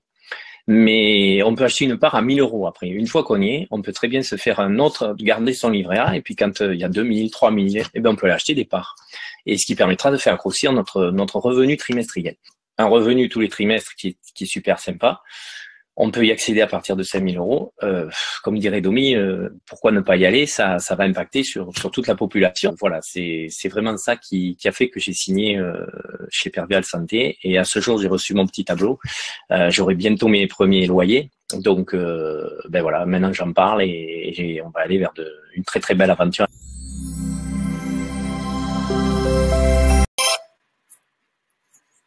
Et, et voilà. Et voilà. C'est le fameux. Et voilà. Ouais, vas-y, vas-y, vas-y, vas-y. Non, non, je disais, Eric est un Toulousain. En plus, c'est quelqu'un que je connais, que, que, je connais bien. Et, euh, et c'est vrai que c'était important pour nous aussi de vous montrer euh, un témoignage de, de, vrais gens, en fait, qui aujourd'hui investissent. En plus, depuis Eric, il a aussi investi pour pour ses enfants. Euh, voilà, donc c'est vraiment une une sorte de coup de foudre. Puis surtout, euh, quand on a la chance de pouvoir euh, rencontrer les gérants, ça amène euh, encore une autre dimension. Pour ceux d'entre vous qui voudront aller plus loin, on fait régulièrement, régulièrement soit des interviews en, en, en visio, soit carrément des, des, des conférences en, en, direct où on a la possibilité d'aller vraiment à la rencontre de ceux qui, qui gèrent le, le placement. Voilà, Jérémy. Super, génial, génial, génial. Donc, donc dites-moi déjà dans les dans les commentaires, euh, dans le chat, donc euh, voilà ce que vous en pensez, ce que voilà vos questions. Donc, euh, je sais pas si tu es d'accord, Dominique, mais je pense qu'on va on va commencer tranquillement sur les sur les questions. Donc allez-y, là c'est le moment. Si vous avez des questions donc sur les SCPI en général, sur l'immobilier ou quoi que ce soit, donc allez-y. Donc dites-nous un petit peu ce que ce que vous pensez de tout ce qu'on Dominique vous a présenté ce soir. donc on va déjà commencer par les questions. J'ai vu qu'il y en avait déjà quelques-unes. Euh, alors, donc la première, avec 5000 euros, on a combien par trimestre? Très bonne question. Donc, euh, on a vu un petit peu euh, le, rendement. Donc, si je prends le dernier rendement que tu as prévu donc, pour 2017, à savoir 5, 5,05, donc je me suis permis de faire les calculs en pendant que tu faisais la présentation. donc, pour donner des chiffres précis. donc, en effet, avec 5000 euros, voilà, sur un sur un livret A, donc on aurait 50 euros par an, euh, si je prends par an. Euh, et donc, euh, si on le fait donc voilà avec la CTI Pierreval, on a 5 fois plus, forcément, à savoir 252 euros et 50 centimes par an, ce qui fait donc par trimestre 63 euros et quelques. Donc, c'est-à-dire que par trimestre, vous aurez plus que ce que vous avez sur votre livret A par an. C'est bon, voilà, c'est juste 5 fois plus, donc c'est hallucinant, quoi. C'est voilà, vous c'est-à-dire qu'en une année, vous allez faire l'équivalent de 50 de votre livret A. Donc euh, voilà, tout simplement, euh, et tout, tout en sachant que vous l'aurez trimestriellement, euh, comme l'a dit Eric.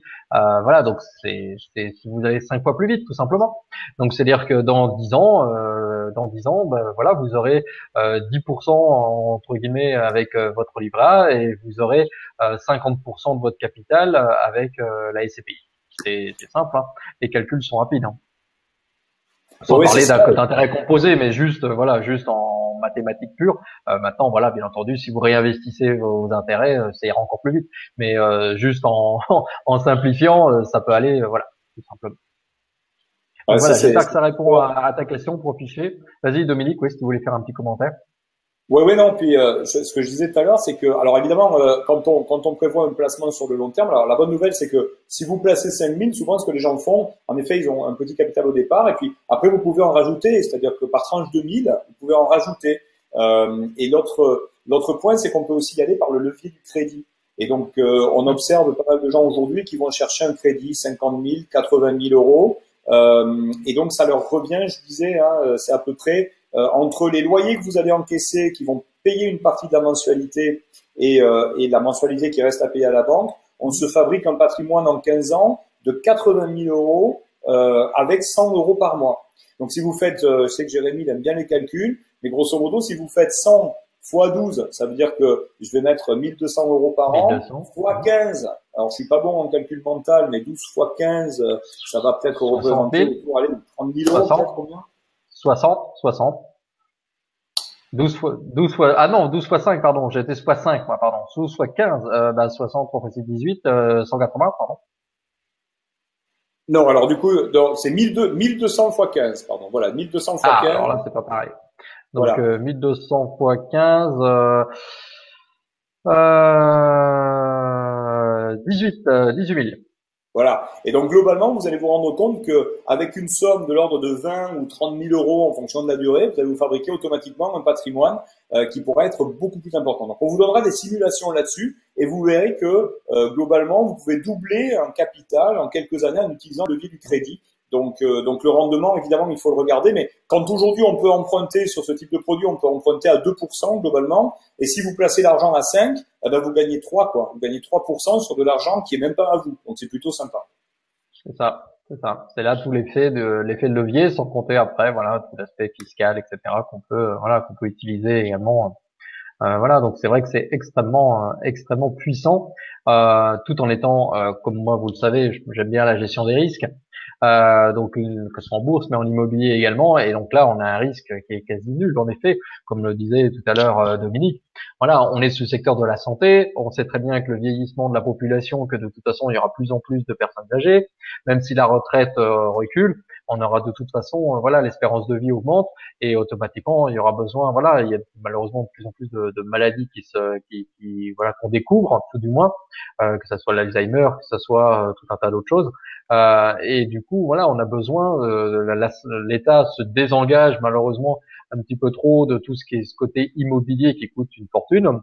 ils ont plutôt tendance à vendre les murs qu'à en acheter et euh, du coup voilà ils ont voilà c'est là que le privé intervient et donc les SCI ou les SCPI en l'occurrence euh, qui permettent voilà d'investir dans, dans un secteur qui là est euh, spécialisé comme tu le disais tout à l'heure et donc là dans le secteur de la santé euh, principalement qui est le secteur numéro un. Euh, voilà, la santé, on en parle tout le temps, que ce soit l'amincissement, que ce soit tout ça. Donc là, on est sur, la santé plutôt médicalisée, euh, mais c'est vraiment un secteur en effet euh, d'expansion. Et de toute façon, quand on regarde, je regardais dernièrement. La, la, la, SCPI où est-ce que c'est situe au niveau au niveau des autres? Et donc c'est les échos je crois qui marquaient qu'on était dans les que la SCPI Pierreval donc était dans les dix premières euh, et donc c'est quand même euh, voilà, c'est, elle sort pas de, de nulle part et euh, elle est quand même extrêmement bien cotée. Regardez sur les, les, les magazines, regardez sur Internet. Internet est, est, ouvert à tous et vous pouvez retrouver tous ces chiffres-là très facilement. Euh, vous tapez euh, voilà euh, les échos et SCPI Pierreval. Pierreval santé et donc vous retrouvez dans le classement la SCPI donc avec tous les chiffres qu'on a pu vous présenter ce soir. Absolument voilà, tout, il n'y a rien de secret, tout est ouvert. Euh, il suffit de, voilà, même pendant le, pendant qu'on est en train de vous expliquer. Donc restez quand même avec nous, mais euh, vous pouvez tout à fait ouvrir de nouvelles fenêtres et regarder, euh, voilà, en live. Il y en a pour deux secondes. Vous allez sur Google et vous trouvez toutes ces informations immédiatement. Ça va, ça va, très très vite et c'est l'avantage Internet. vous avez toutes ces informations. Alors ensuite, on avait Telly, Telly. Donc on a donc oui Dominique, je sais pas si tu as vu, mais nous avons une conférence internationale ce soir, internationale. On a l'Afrique qui était avec nous. Donc Jérémy, euh, donc Téli qui nous dit, euh, bon je vais passer euh, le commentaire pour moi. Euh, donc on ne parle que de la France, eh ben oui principalement, mais on parle, a parlé de l'Allemagne également, Téli. Et moi je suis en Afrique. Et oui tout à fait. Donc alors étant en Afrique, avec quel investissement immobilier peut-on donc commencer avec 5000 euros? Eh bien, on peut tout à fait investir, même si on est en Afrique, investir dans une SCPI euh, que ce soit en France et en Allemagne, ça marche tout à fait. Donc au niveau de la fiscalité, ça sera différent, mais euh, on peut investir, euh, voilà, euh, euh Telly, tu peux investir en Suisse comme tu peux investir en Luxembourg ou dans une SCPI en France, c'est tout à fait possible, euh, que tu sois américain, africain, australien ou cambodgien, peu importe, on peut investir n'importe où. il suffit d'ouvrir un compte et, et d'investir son, son, argent. Donc Telly, tu peux tout à fait investir dans la SCPI Pierreval, euh, même en étant en Afrique, ça pose aucun souci. Donc si ce n'est euh, des boycotts de certains États euh, pour transférer les fonds, là ça sera peut-être un petit peu plus compliqué. C'est en Algérie entre autres ou, ou dans, dans, dans, certains États, euh, dans certains pays, mais bon, une fois que l'argent est, est, en France, il n'y a aucun souci, on peut tout à fait investir dans une SCPI, peu importe où on se trouve dans le monde. Donc voilà, j'espère avoir répondu à ta question, euh. Tu me dis si tu es d'accord, Dominique, mais je pense qu'on est d'accord là-dessus. Oui, sur le plan technique, il faudrait en général euh, être sur le sol français au moment où on signe la SCPI euh, physiquement. Mais voilà, c'est un, un, aspect un peu, un peu, technique. Mais en effet, ça sera l'occasion de... Ça sera l'occasion de venir nous voir et nous rencontrer, donc ça sera tout à fait euh, passé soit par Toulouse ou par la région centre, venir voir Chambord qui est à 10 minutes de chez moi. Donc euh, voilà, on pourra aller visiter Chambord ensemble. Télé, il va faire un grand plaisir. Et puis éventuellement aller sur, dans la ville rose, ça sera également, je pense que Dominique se fera plaisir de, de, payer un verre sur la sur la magnifique place de Toulouse. Ok oui, et une saucisse de Toulouse. Ah oui, bien entendu, les saucisses. euh, alors ensuite. Euh, donc, Profichet qui nous repose une deuxième question. Donc, le capital ne bouge pas à savoir si dans dix ans je veux récupérer mon capital, je pourrais. Bah, je te laisse répondre, Dominique. Alors, c'est une question qui est, très intéressante parce qu'elle peut amener plusieurs subtilités techniques. En fait, d'abord, au niveau du capital, c'est le parc. Le parc immobilier, bien sûr, il va se valoriser euh, alors on est toujours très prudent hein, dans le secteur de l'immobilier parce qu'on ne sait pas vers quoi ça part. Donc dans les estimations, on considère que le parc se valorise de 0,5% par an. Euh, mais la bonne nouvelle, c'est que l'autorité des marchés financiers est là. Et donc euh, au même titre, tous les trimestres, vous avez un état financier qui est communiqué et qui vous dit exactement la valeur de votre parc. Et au moins une fois par an, il y a un expert agréé euh, qui est un expert indépendant qui vient vérifier la valeur de tous les biens, alors en fonction des, des situations de marché. Donc en fait, sur le plan du parc immobilier, euh, bien sûr, le produit va se valoriser dans le temps. Ça, c'est le premier paramètre. Et puis vous avez un paramètre, donc c'est ce qui va générer de la plus-value en quelque sorte. Et vous avez un paramètre euh, dont on parle peu, euh, qui est celui de la valorisation des parts. C'est-à-dire que, alors ça c'est plus technique, hein, je rentrerai pas dans le détail ce soir, mais la part au départ, elle vaut 1000 euros. Et, euh, et il se trouve que quand vous êtes parmi les premiers, eh bien, les, les, les biens s'accumulent. Au début, il n'y a pas de biens, puis là, maintenant, il y en a une vingtaine, et puis peut-être que dans quelques temps, il y en aura une quarantaine, une cinquantaine. Et donc, pour que les choses soient égalitaires entre ceux qui sont arrivés en premier et ceux qui arrivent ensuite, eh bien, la, la, société de gestion va pouvoir faire évoluer la valeur de la part. Donc, quand on regarde ce qui va se passer dans le temps, il y a deux choses qui peuvent se passer. D'abord, il y a la valeur du parc qui va évoluer, le parc immobilier physique, et évidemment, on sera titulaire d'une partie de la plus-value en tant qu'actionnaire de la, de la SCPI.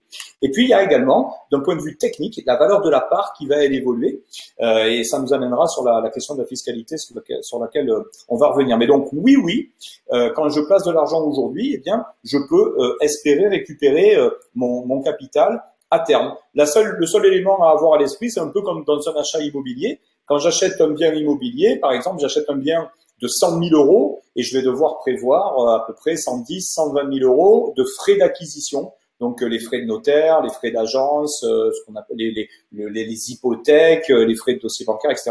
Donc il y a toujours une cote-part de frais. Donc voilà, il faut estimer que grosso modo, si je place 1000, je peux espérer récupérer 900 si je revends demain, quoi. C'est pour ça qu'on dit qu'il faut, il faut rester au moins deux ans pour être sûr de, d'avoir une opération qui tienne. Et puis après, plus on reste, plus on fait du bénéfice. Au-delà des loyers qu'on encaisse, on a la plus-value.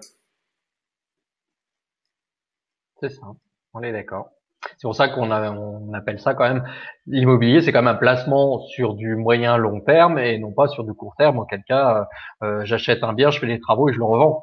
Euh, voilà, si vous voulez faire du court terme, c'est ça. Hein. Voilà, l'immobilier, c'est comme ça. Je fais un achat-revente qu'on appelle et euh, auquel cas c'est une voilà une opération sur euh, six mois, un an.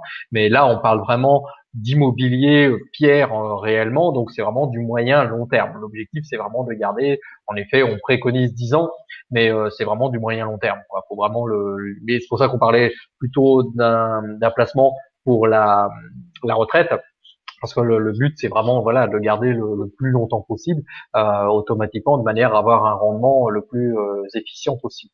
Voilà, tout simplement. Très bien, nous dit Profichet. Donc, on est ravi d'avoir répondu à ta première, à ta deuxième question, pardon. Donc, nous allons arriver à la troisième question maintenant. Euh, l'aspect fiscalité, tu disais Dominique.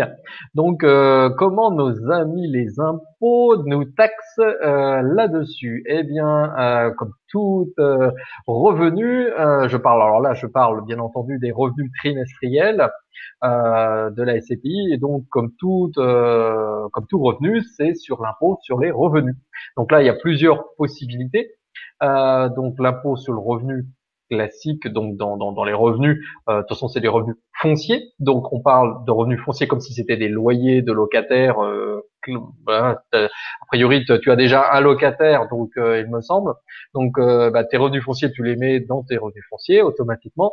Dans ta cage de revenus fonciers, bah, là ça sera une, une case supplémentaire, tout simplement une ligne supplémentaire ou alors, en cité en dessous d'un certain seuil, tu peux faire du micro foncier en fonction de là où tu te, là où tu te situes, en fonction de la totalité de tes revenus. Donc, c'est en fonction de ce que tu toucheras avec la SCI, euh, la SCPI, pardon et, euh, et avec ton locataire euh, autre euh, que tu as à côté. Donc, bah, c'est le, le, voilà, il y a un plafond et donc euh, c'est le cumul des deux qui fera que soit tu rentres dans le cadre du micro foncier ou dans le foncier classique. Euh, voilà. Donc, de toute façon, il y aura des charges également qui pourront être déduites. Et à cela, bien entendu, nos amis les impôts, comme tu dis, n'oublieront pas également donc le prélèvement forfaitaire libératoire.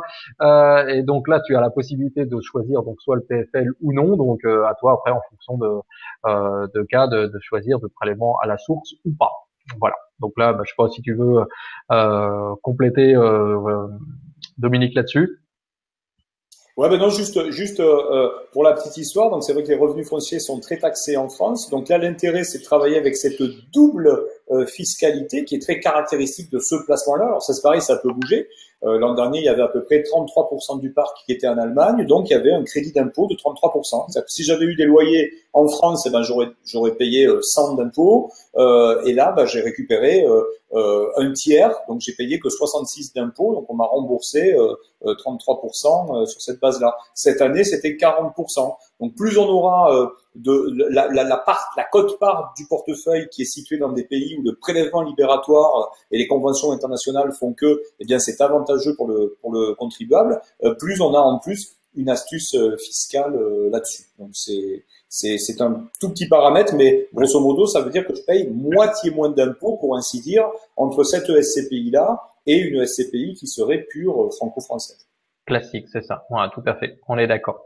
Mais euh, voilà, après il y a des montages possibles. Donc euh, euh, bon, après c'est du cas spécifique. Je vais pas rentrer forcément dans le détail. Si tu veux plus de détails, euh, voilà, sur ton cas bien spécifique, tu me contactes euh, soit sur Facebook ou, ou par mail directement euh, pour ficher, donc de manière à pouvoir euh, voilà, te répondre bien spécifiquement par cas, parce qu'après, il peut y avoir des travaux par rapport à ta, ton, ton, logement actuel, ton appartement que tu loues, quelqu'un qui pourrait permettre de défiscaliser également euh, une part de, des revenus de la SCPI, etc., etc. Il peut y avoir plein de stratégies possibles, euh, voilà, d'imaginer pour euh, bah, diminuer au maximum les impôts, même l'impact des revenus de la SCPI. Quoi. Donc après, c'est des montages bien personnels et spécifiques, mais ça, on peut, voilà, on peut en débattre en dehors. Euh, donc a priori, on a, il nous dit merci, donc on a répondu a priori à sa question. Avez-vous d'autres questions? Euh, alors, Alex, euh, Alex dit excellent, donc c'est génial, merci Alex. Euh, tu as des questions, Alex? Euh, Voilà, dites-nous, dites-nous si vous avez d'autres questions bien spécifiques, si vous voulez plus de détails par rapport à cela. Est-ce que euh, Manon ou Dominique, vous pouvez éventuellement envoyer le petit cadeau qu'on a prévu à cet effet, si ce n'est pas déjà fait? Absolument. Voilà, donc vous avez un lien là dans le chat qui doit apparaître en gros euh, sur votre écran euh, logiquement, qui s'appelle ImoSanté, euh, imo-santé.fr slash prospérité-investissement comme le blog de, de, Jérémy. Donc ici, vous allez avoir alors eh bien la possibilité, si vous cliquez maintenant, vous allez avoir la possibilité d'accéder à la page que je vous ai montré tout à l'heure avec toutes les interviews des gérants, tous les documents, une revue de presse de 60 pages, une euh, toute la fiche avec tous les biens qui sont euh, installés, euh, donc à peu près 22 biens au moment où on parle. donc vous allez voir comment tout ça est expliqué. Il y a, il y a quelques vidéos pédagogiques aussi qui vont vraiment vous donner une vue d'ensemble du sujet. Et puis surtout, pour ceux qui le souhaitent, on va vous donner la possibilité de, de pouvoir avoir un entretien, alors soit avec moi, soit avec un consultant de l'équipe, qui aura la possibilité d'étudier votre cas, puisque finalement, en toute chose, euh, ce qui est extrêmement important, c'est de euh, vraiment euh, regarder un peu les paramètres de votre dossier. D'autant qu'on est sur un produit qui est encadré par l'autorité des marchés financiers, donc tout le monde ne peut pas y aller. Il y a ce qu'on appelle un test d'éligibilité. Donc on sera heureux de vous faire passer le test, ça ne fait pas mal, rassurez-vous. Et l'avantage pour répondre à, à euh, proficher euh, dans, dans, le chat, c'est que euh, on a mis sur pied aujourd'hui des méthodes qui permettent d'intervenir à distance. C'est aussi des choses qu'on a pu négocier avec l'autorité des marchés financiers. Euh, c'est de s'adapter. Euh, c'est pas toujours possible simplement dans la finance, hein, parce que la finance c'est souvent un secteur très conservateur, mais il y a toute une démarche autour de ce qu'on appelle les fintech, finance et technologie, qui permet d'ouvrir le champ sur des démarches à distance donc, euh, alors, euh, euh, essentiellement, on a des gens de l'équipe. moi, je suis basé à Toulouse, mais on a des gens sur Lyon, La Rochelle et Paris. donc voilà, au-delà de ces villes, et même, je vais vous dire, des fois, à l'autre bout de Toulouse, on travaille malgré tout par téléphone et par Skype. Donc, on est capable d'intervenir à distance sans aucune difficulté. Donc, si vous cliquez sur le lien, logiquement, vous aurez même accès à un, agenda électronique ou quelqu'un qui prendra contact avec vous pour un entretien. Ça se passe en grosso modo euh, en 45 minutes, on a fait le tour, mais ça vous permettrait d'avoir vraiment une vision très claire des possibilités qui s'offrent à vous avec ce type d'options financières. Voilà, c'est exactement ça. C'est ce qu'on l'échangeait en, en préparant ce, ce, webinaire et c'est exactement cela. Euh, comme moi je le fais également euh, à chaque euh, à chaque intervention. Euh, comme je le dis souvent, c'est si on veut aller à un point B, il faut bien savoir d'où on part. Euh, c'est comme un GPS. Si vous, euh, si vous le, voilà, programmez votre GPS euh, en disant je veux aller à Toulouse en partant de Chambord, eh bien, si je sais, si le GPS il sait pas que je pars de Chambord, je suis pas prêt d'arriver à Toulouse. Donc c'est exactement ça. Il faut bien faire le bilan. Donc avoir une base de départ d'un point A pour aller à un point B, et, et donc pour pouvoir avoir le chemin qui qui se, qui se trace. Et donc c'est exactement cela, c'est un peu le but en fait de, de cette de cet un petit peu entretien, ce test comme tu dis Dominique, et euh, de pouvoir voilà savoir un petit peu si le voilà pour pouvoir déterminer le point A de là où vous êtes et pour pouvoir vous amener là où vous voulez aller et voir si ça répond vraiment à vos, vos objectifs personnels. C'est exactement cela, je pense, euh, le but du test. Pour l'avoir vu, euh, c'est exactement ça. Alors où est-ce qu'on est situé? Bah, Je pense que si vous l'avez pas encore compris, euh, on va le répéter. Mais donc euh, moi je suis euh, donc à côté de Chambord, dans la région centre, sur les bords de la Loire. Et donc mon ami Dominique est à Toulouse, voilà un peu plus dans le sud au soleil. Euh, Quoiqu'aujourd'hui le soleil, bref, sans commentaire. On va pas s'étendre là-dessus. Euh, Est-ce que vous avez d'autres questions, les amis? Est-ce que vous avez d'autres questions? Je regarde un petit peu dans le chat en même temps, voir si on a quelque chose qui se présente. Alors, euh, fichier. En fait, ça nous fait en quelque sorte quatre primes par année. Bah, en fait, quatre revenus hein, tous les trimestres, tout simplement. Oui, c'est un peu ça, en effet. Euh, tout en gardant son capital, si j'ai bien tout compris. Bah, c'est ça, en fait, tu investis. Bah, en fait, c'est, c'est, on reprendre l'image du livret A. Quand tu mets ton capital sur le livret A, là, c'est pas euh, quatre fois, mais c'est une seule fois par an au 1er janvier où tu touches ton, tes intérêts. Et eh bien là, c'est pas une fois que tu vas le toucher, mais c'est quatre fois que tu vas le toucher. Donc, ce que tu touchais une fois au mois de janvier, là, tu vas toucher tous les trimestres. Euh, pour résumer, c'est un peu ça. Donc tu vas toucher euh, quatre fois en fait ce que tu touchais une fois par an et tu auras toujours ton capital que tu peux retirer dans euh, quelques temps euh, quand on aura besoin. Voilà, et tu pourras réinvestir comme tu mets sur ton livret. En fait, tu pourras réinvestir euh, par tranche de 1000. donc au départ, tu mets 5000 au minimum. Tu peux mettre beaucoup, beaucoup plus en fonction de tes moyens et tu peux remettre par tranche de 1000 au fur et à mesure sur ton livret quand on a besoin. Et tous les trimestres, tu toucheras les, les intérêts, donc les revenus de, euh, de cette SCPI. Voilà. Et le, au moment, comme le disait Dominique tout à l'heure, au moment où tu as besoin de retirer euh, 1000, 5000, 10 000, eh bien, tu retires euh, cette somme-là comme si tu faisais par un, par, par, un livret ou autre, euh, ou assurance vie ou autre, euh, comme tout tel placement. Donc c'est voilà, c'est l'avantage de cette fluidité. C'est comme euh, euh, c'est là tout cet intérêt. On n'a pas tous les inconvénients en fait de la gestion des loyers, des baux, des travaux, etc. Parce que ça c'est la société de gestion qui s'en occupe.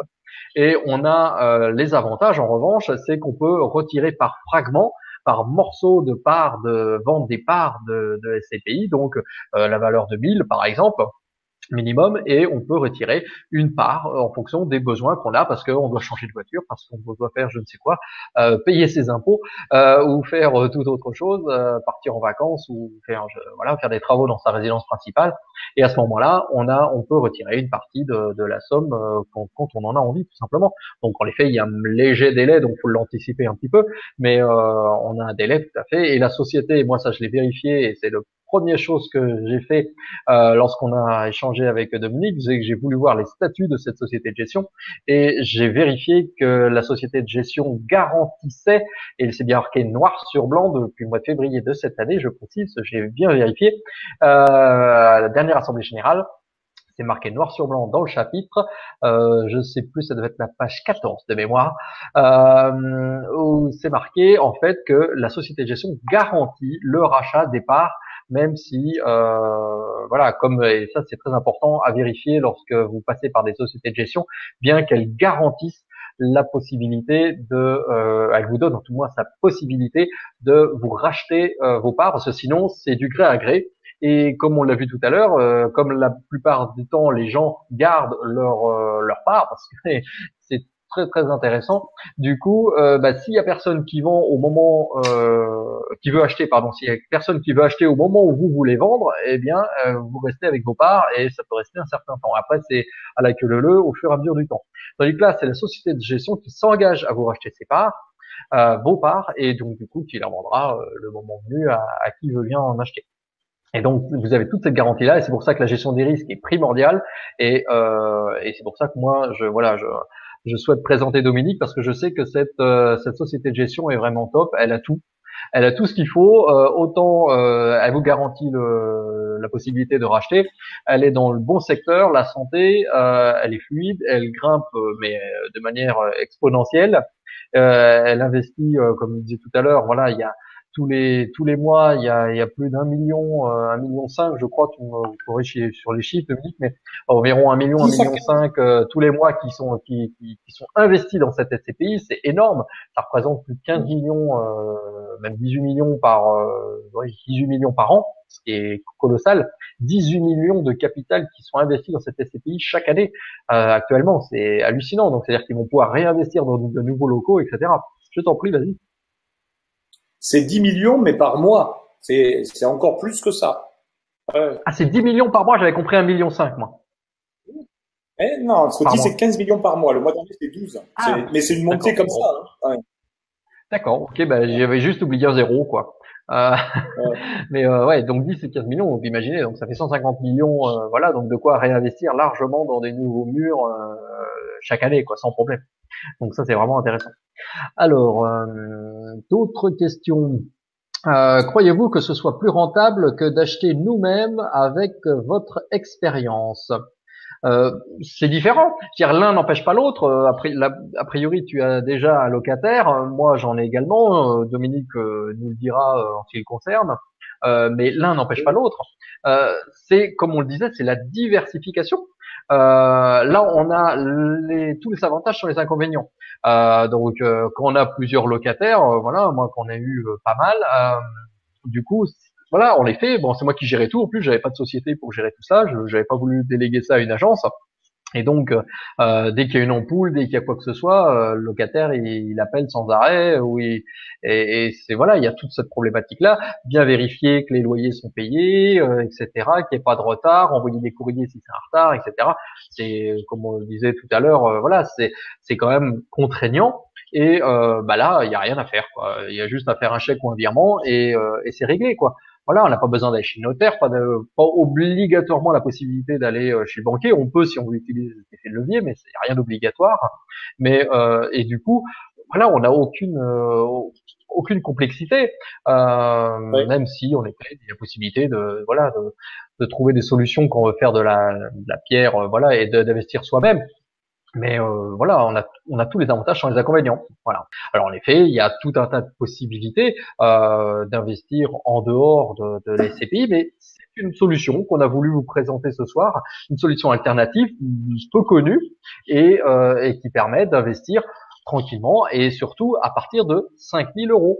Euh, essayez d'investir euh, à partir de 5000 euros dans, dans un appartement. Euh, donnez-moi la solution, moi ça m'intéresse en tout cas. je suis prêt à investir, je pense que Dominique aussi. Ouais, c'est ça. Ouais, on a, voilà, c'est ça. On a, on a la chambre ou la salle de bain. C'est encore 5000 euros la salle de bain, c'est ce qui coûte le plus cher, donc c'est pas gagné. mais bon, voilà. C'est une alternative voilà, c'est une alternative, mais l'un n'empêche pas l'autre. Vous pouvez tout à fait mettre euh, 10 ou 15 000 de liquidité euh, que vous avez sur votre livret euh, euh dans une SCPI. Et euh, à côté de ça, allez voir votre banquier pour investir dans l'immobilier physique. Euh, rien n'empêche de faire les deux. tout est possible. Tout est possible.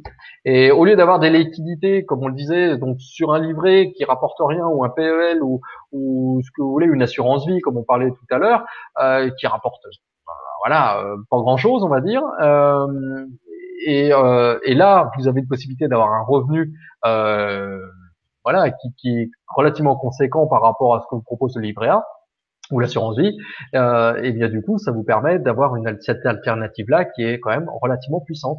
Et rien vous empêche à côté d'aller voir votre banquier pour investir dans, dans l'immobilier, d'acheter un appartement, un immeuble ou, ou tout autre bien euh, à droite ou à gauche euh, via les techniques que je vous présente euh, régulièrement. Ça, c'est tout à fait possible.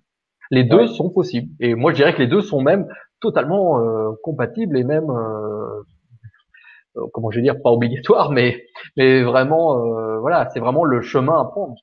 Voilà. C'est la diversification, comme je le dis souvent, pas mettre tous les œufs dans le même panier. C'est, il en faut un peu en bourse, il en faut un peu dans l'immobilier et un peu dans le business. Il faut créer un business euh, un ou plusieurs business, avoir plusieurs types d'immobilier, donc la SCPI en fait partie, euh, et également en bourse, diversifier également à travers euh, voilà les actions, les, les, les et, autres euh, dividendes, et, etc. Donc tout un tas de stratégies que je vous présente régulièrement.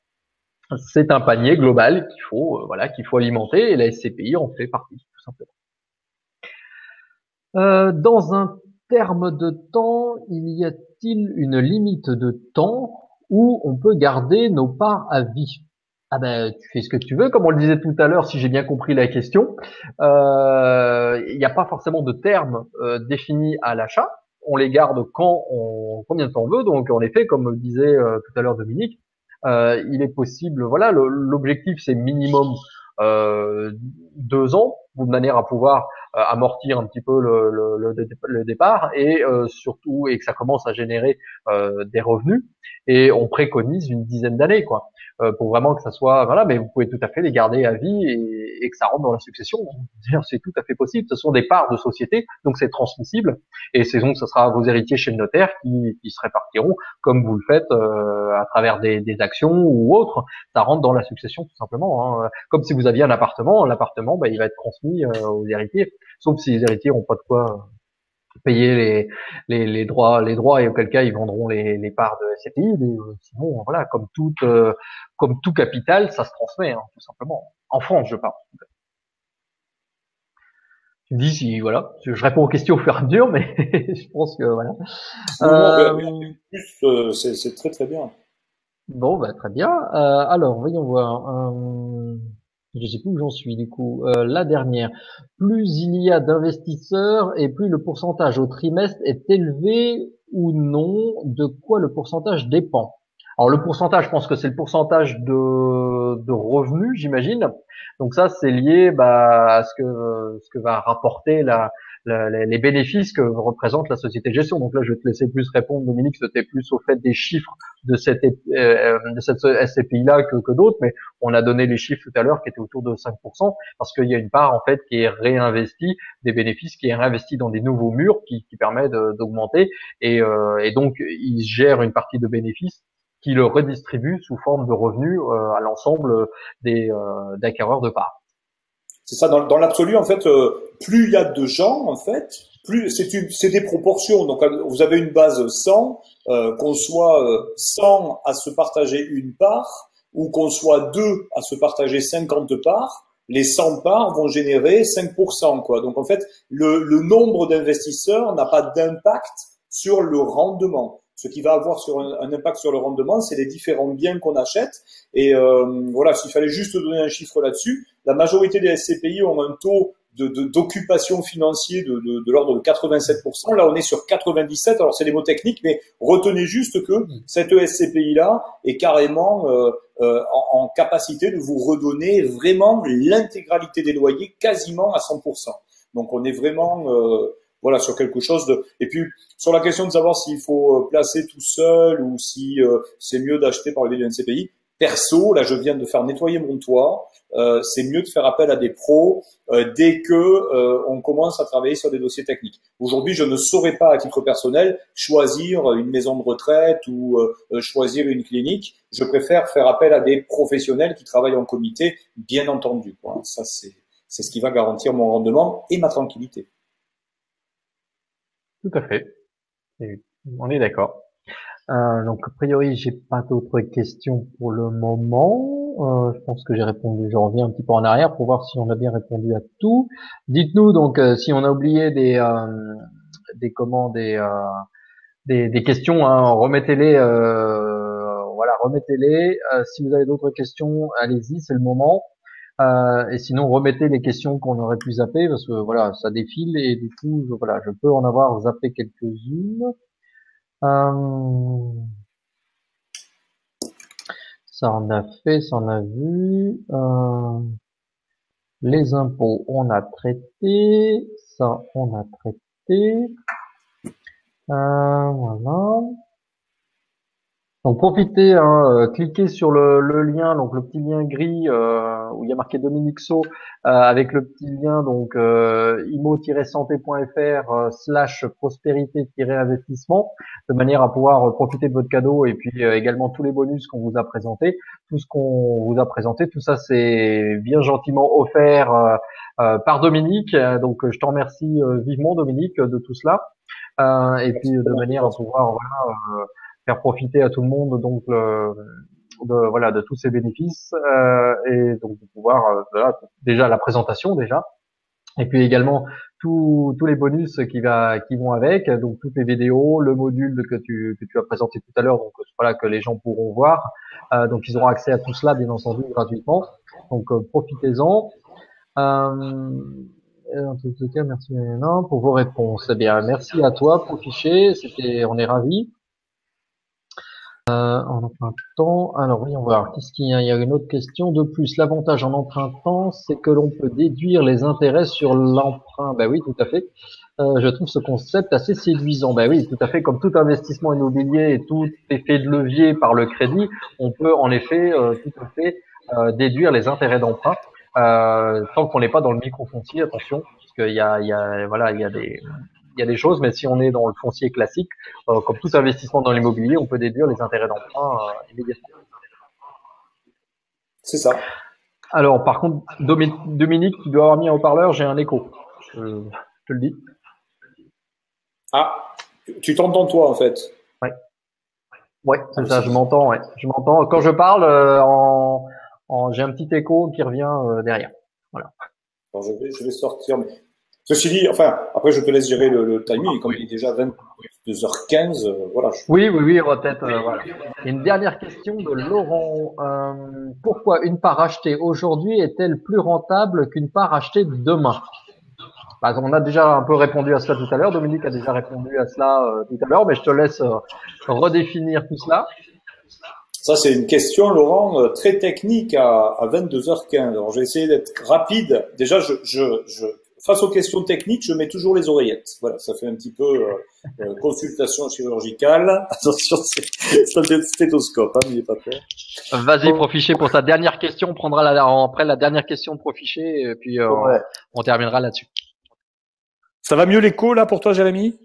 Top, là, le son même est superbe. C'est mieux. Bon, alors du coup, alors pour Laurent, euh, pourquoi une part achetée aujourd'hui est-elle plus rentable qu'une part achetée demain? Je ne sais pas si on peut le dire vraiment comme ça, mais je vais juste vous indiquer le truc. Euh, J'essaie de vous faire une image. On, on, on est aujourd'hui à une période où la SCPI a trois ans. La valeur de la part est à 1000 euros. Il y a 22 euh, appartements dans le parc et ça fait 150 millions. Mais on sait déjà euh, que euh, ces 150 millions génèrent leurs 5% parce que vous l'avez vu, les biens sont déjà dedans. Donc euh, les investisseurs qui ont été là depuis le début ont été ceux grâce auxquels on a pu acheter les premiers biens immobiliers. Et ça, ça vaut une sorte de prime euh, à l'histoire. C'est-à-dire que si demain on décide d'augmenter la valeur de la part de 1000 à 1200 euros, ça va bien entendu avantager les gens qui étaient là avant. Mais pourquoi? Parce que finalement, quand des gens arriveront dans deux ans et qui mettront leur part à eux, ils vont capitaliser sur tout l'historique euh, du, parc qui est déjà là, avec des loyers qui tombent déjà, et donc avec la certitude de voir finalement cette stabilité des loyers. Donc en fait, dans les SCPI, plus vous restez longtemps, et plus vous avez cet avantage comme une sorte de, je sais pas si on peut comparer ça à une prime de fidélité, mais finalement, on a un équilibre, une déontologie entre les, les gens qui étaient là à la première heure et les gens qui arrivent ensuite. Parce que quelque part, plus on est, plus on se dilue. Et donc, euh, bah, forcément, euh, les, les, les, intérêts du, du, les revenus qui étaient versés à un instant T dans une surface de jeu euh, fermée, bah, plus la surface de jeu s'élargit, plus il faut maintenir le jeu. Donc, on essaye comme ça de trouver un savant mélange entre les, les, les premiers et ceux qui arrivent ensuite. Mais évidemment, le but, c'est que comme la la rentabilité dépend, le taux de rentabilité dépend du, du capital, bah finalement, quand on augmente la valeur de la part, il faut être sûr que le loyer suit. Sinon, pour le même loyer, on a l'impression qu'on a une rentabilité un, peu moins importante. Donc, tout ça, c'est des données très techniques. Hein. Il faut faire un peu de maths, mais, euh, mais c'est pour ça que c'est extrêmement bien suivi et géré euh, par euh, la société de gestion. Et quand on y sera, vous verrez, on aura des choses passionnantes à se raconter parce qu'il y a de très très beaux, très belles prises de conscience autour de tous ces sujets-là. Merci, merci bien Dominique.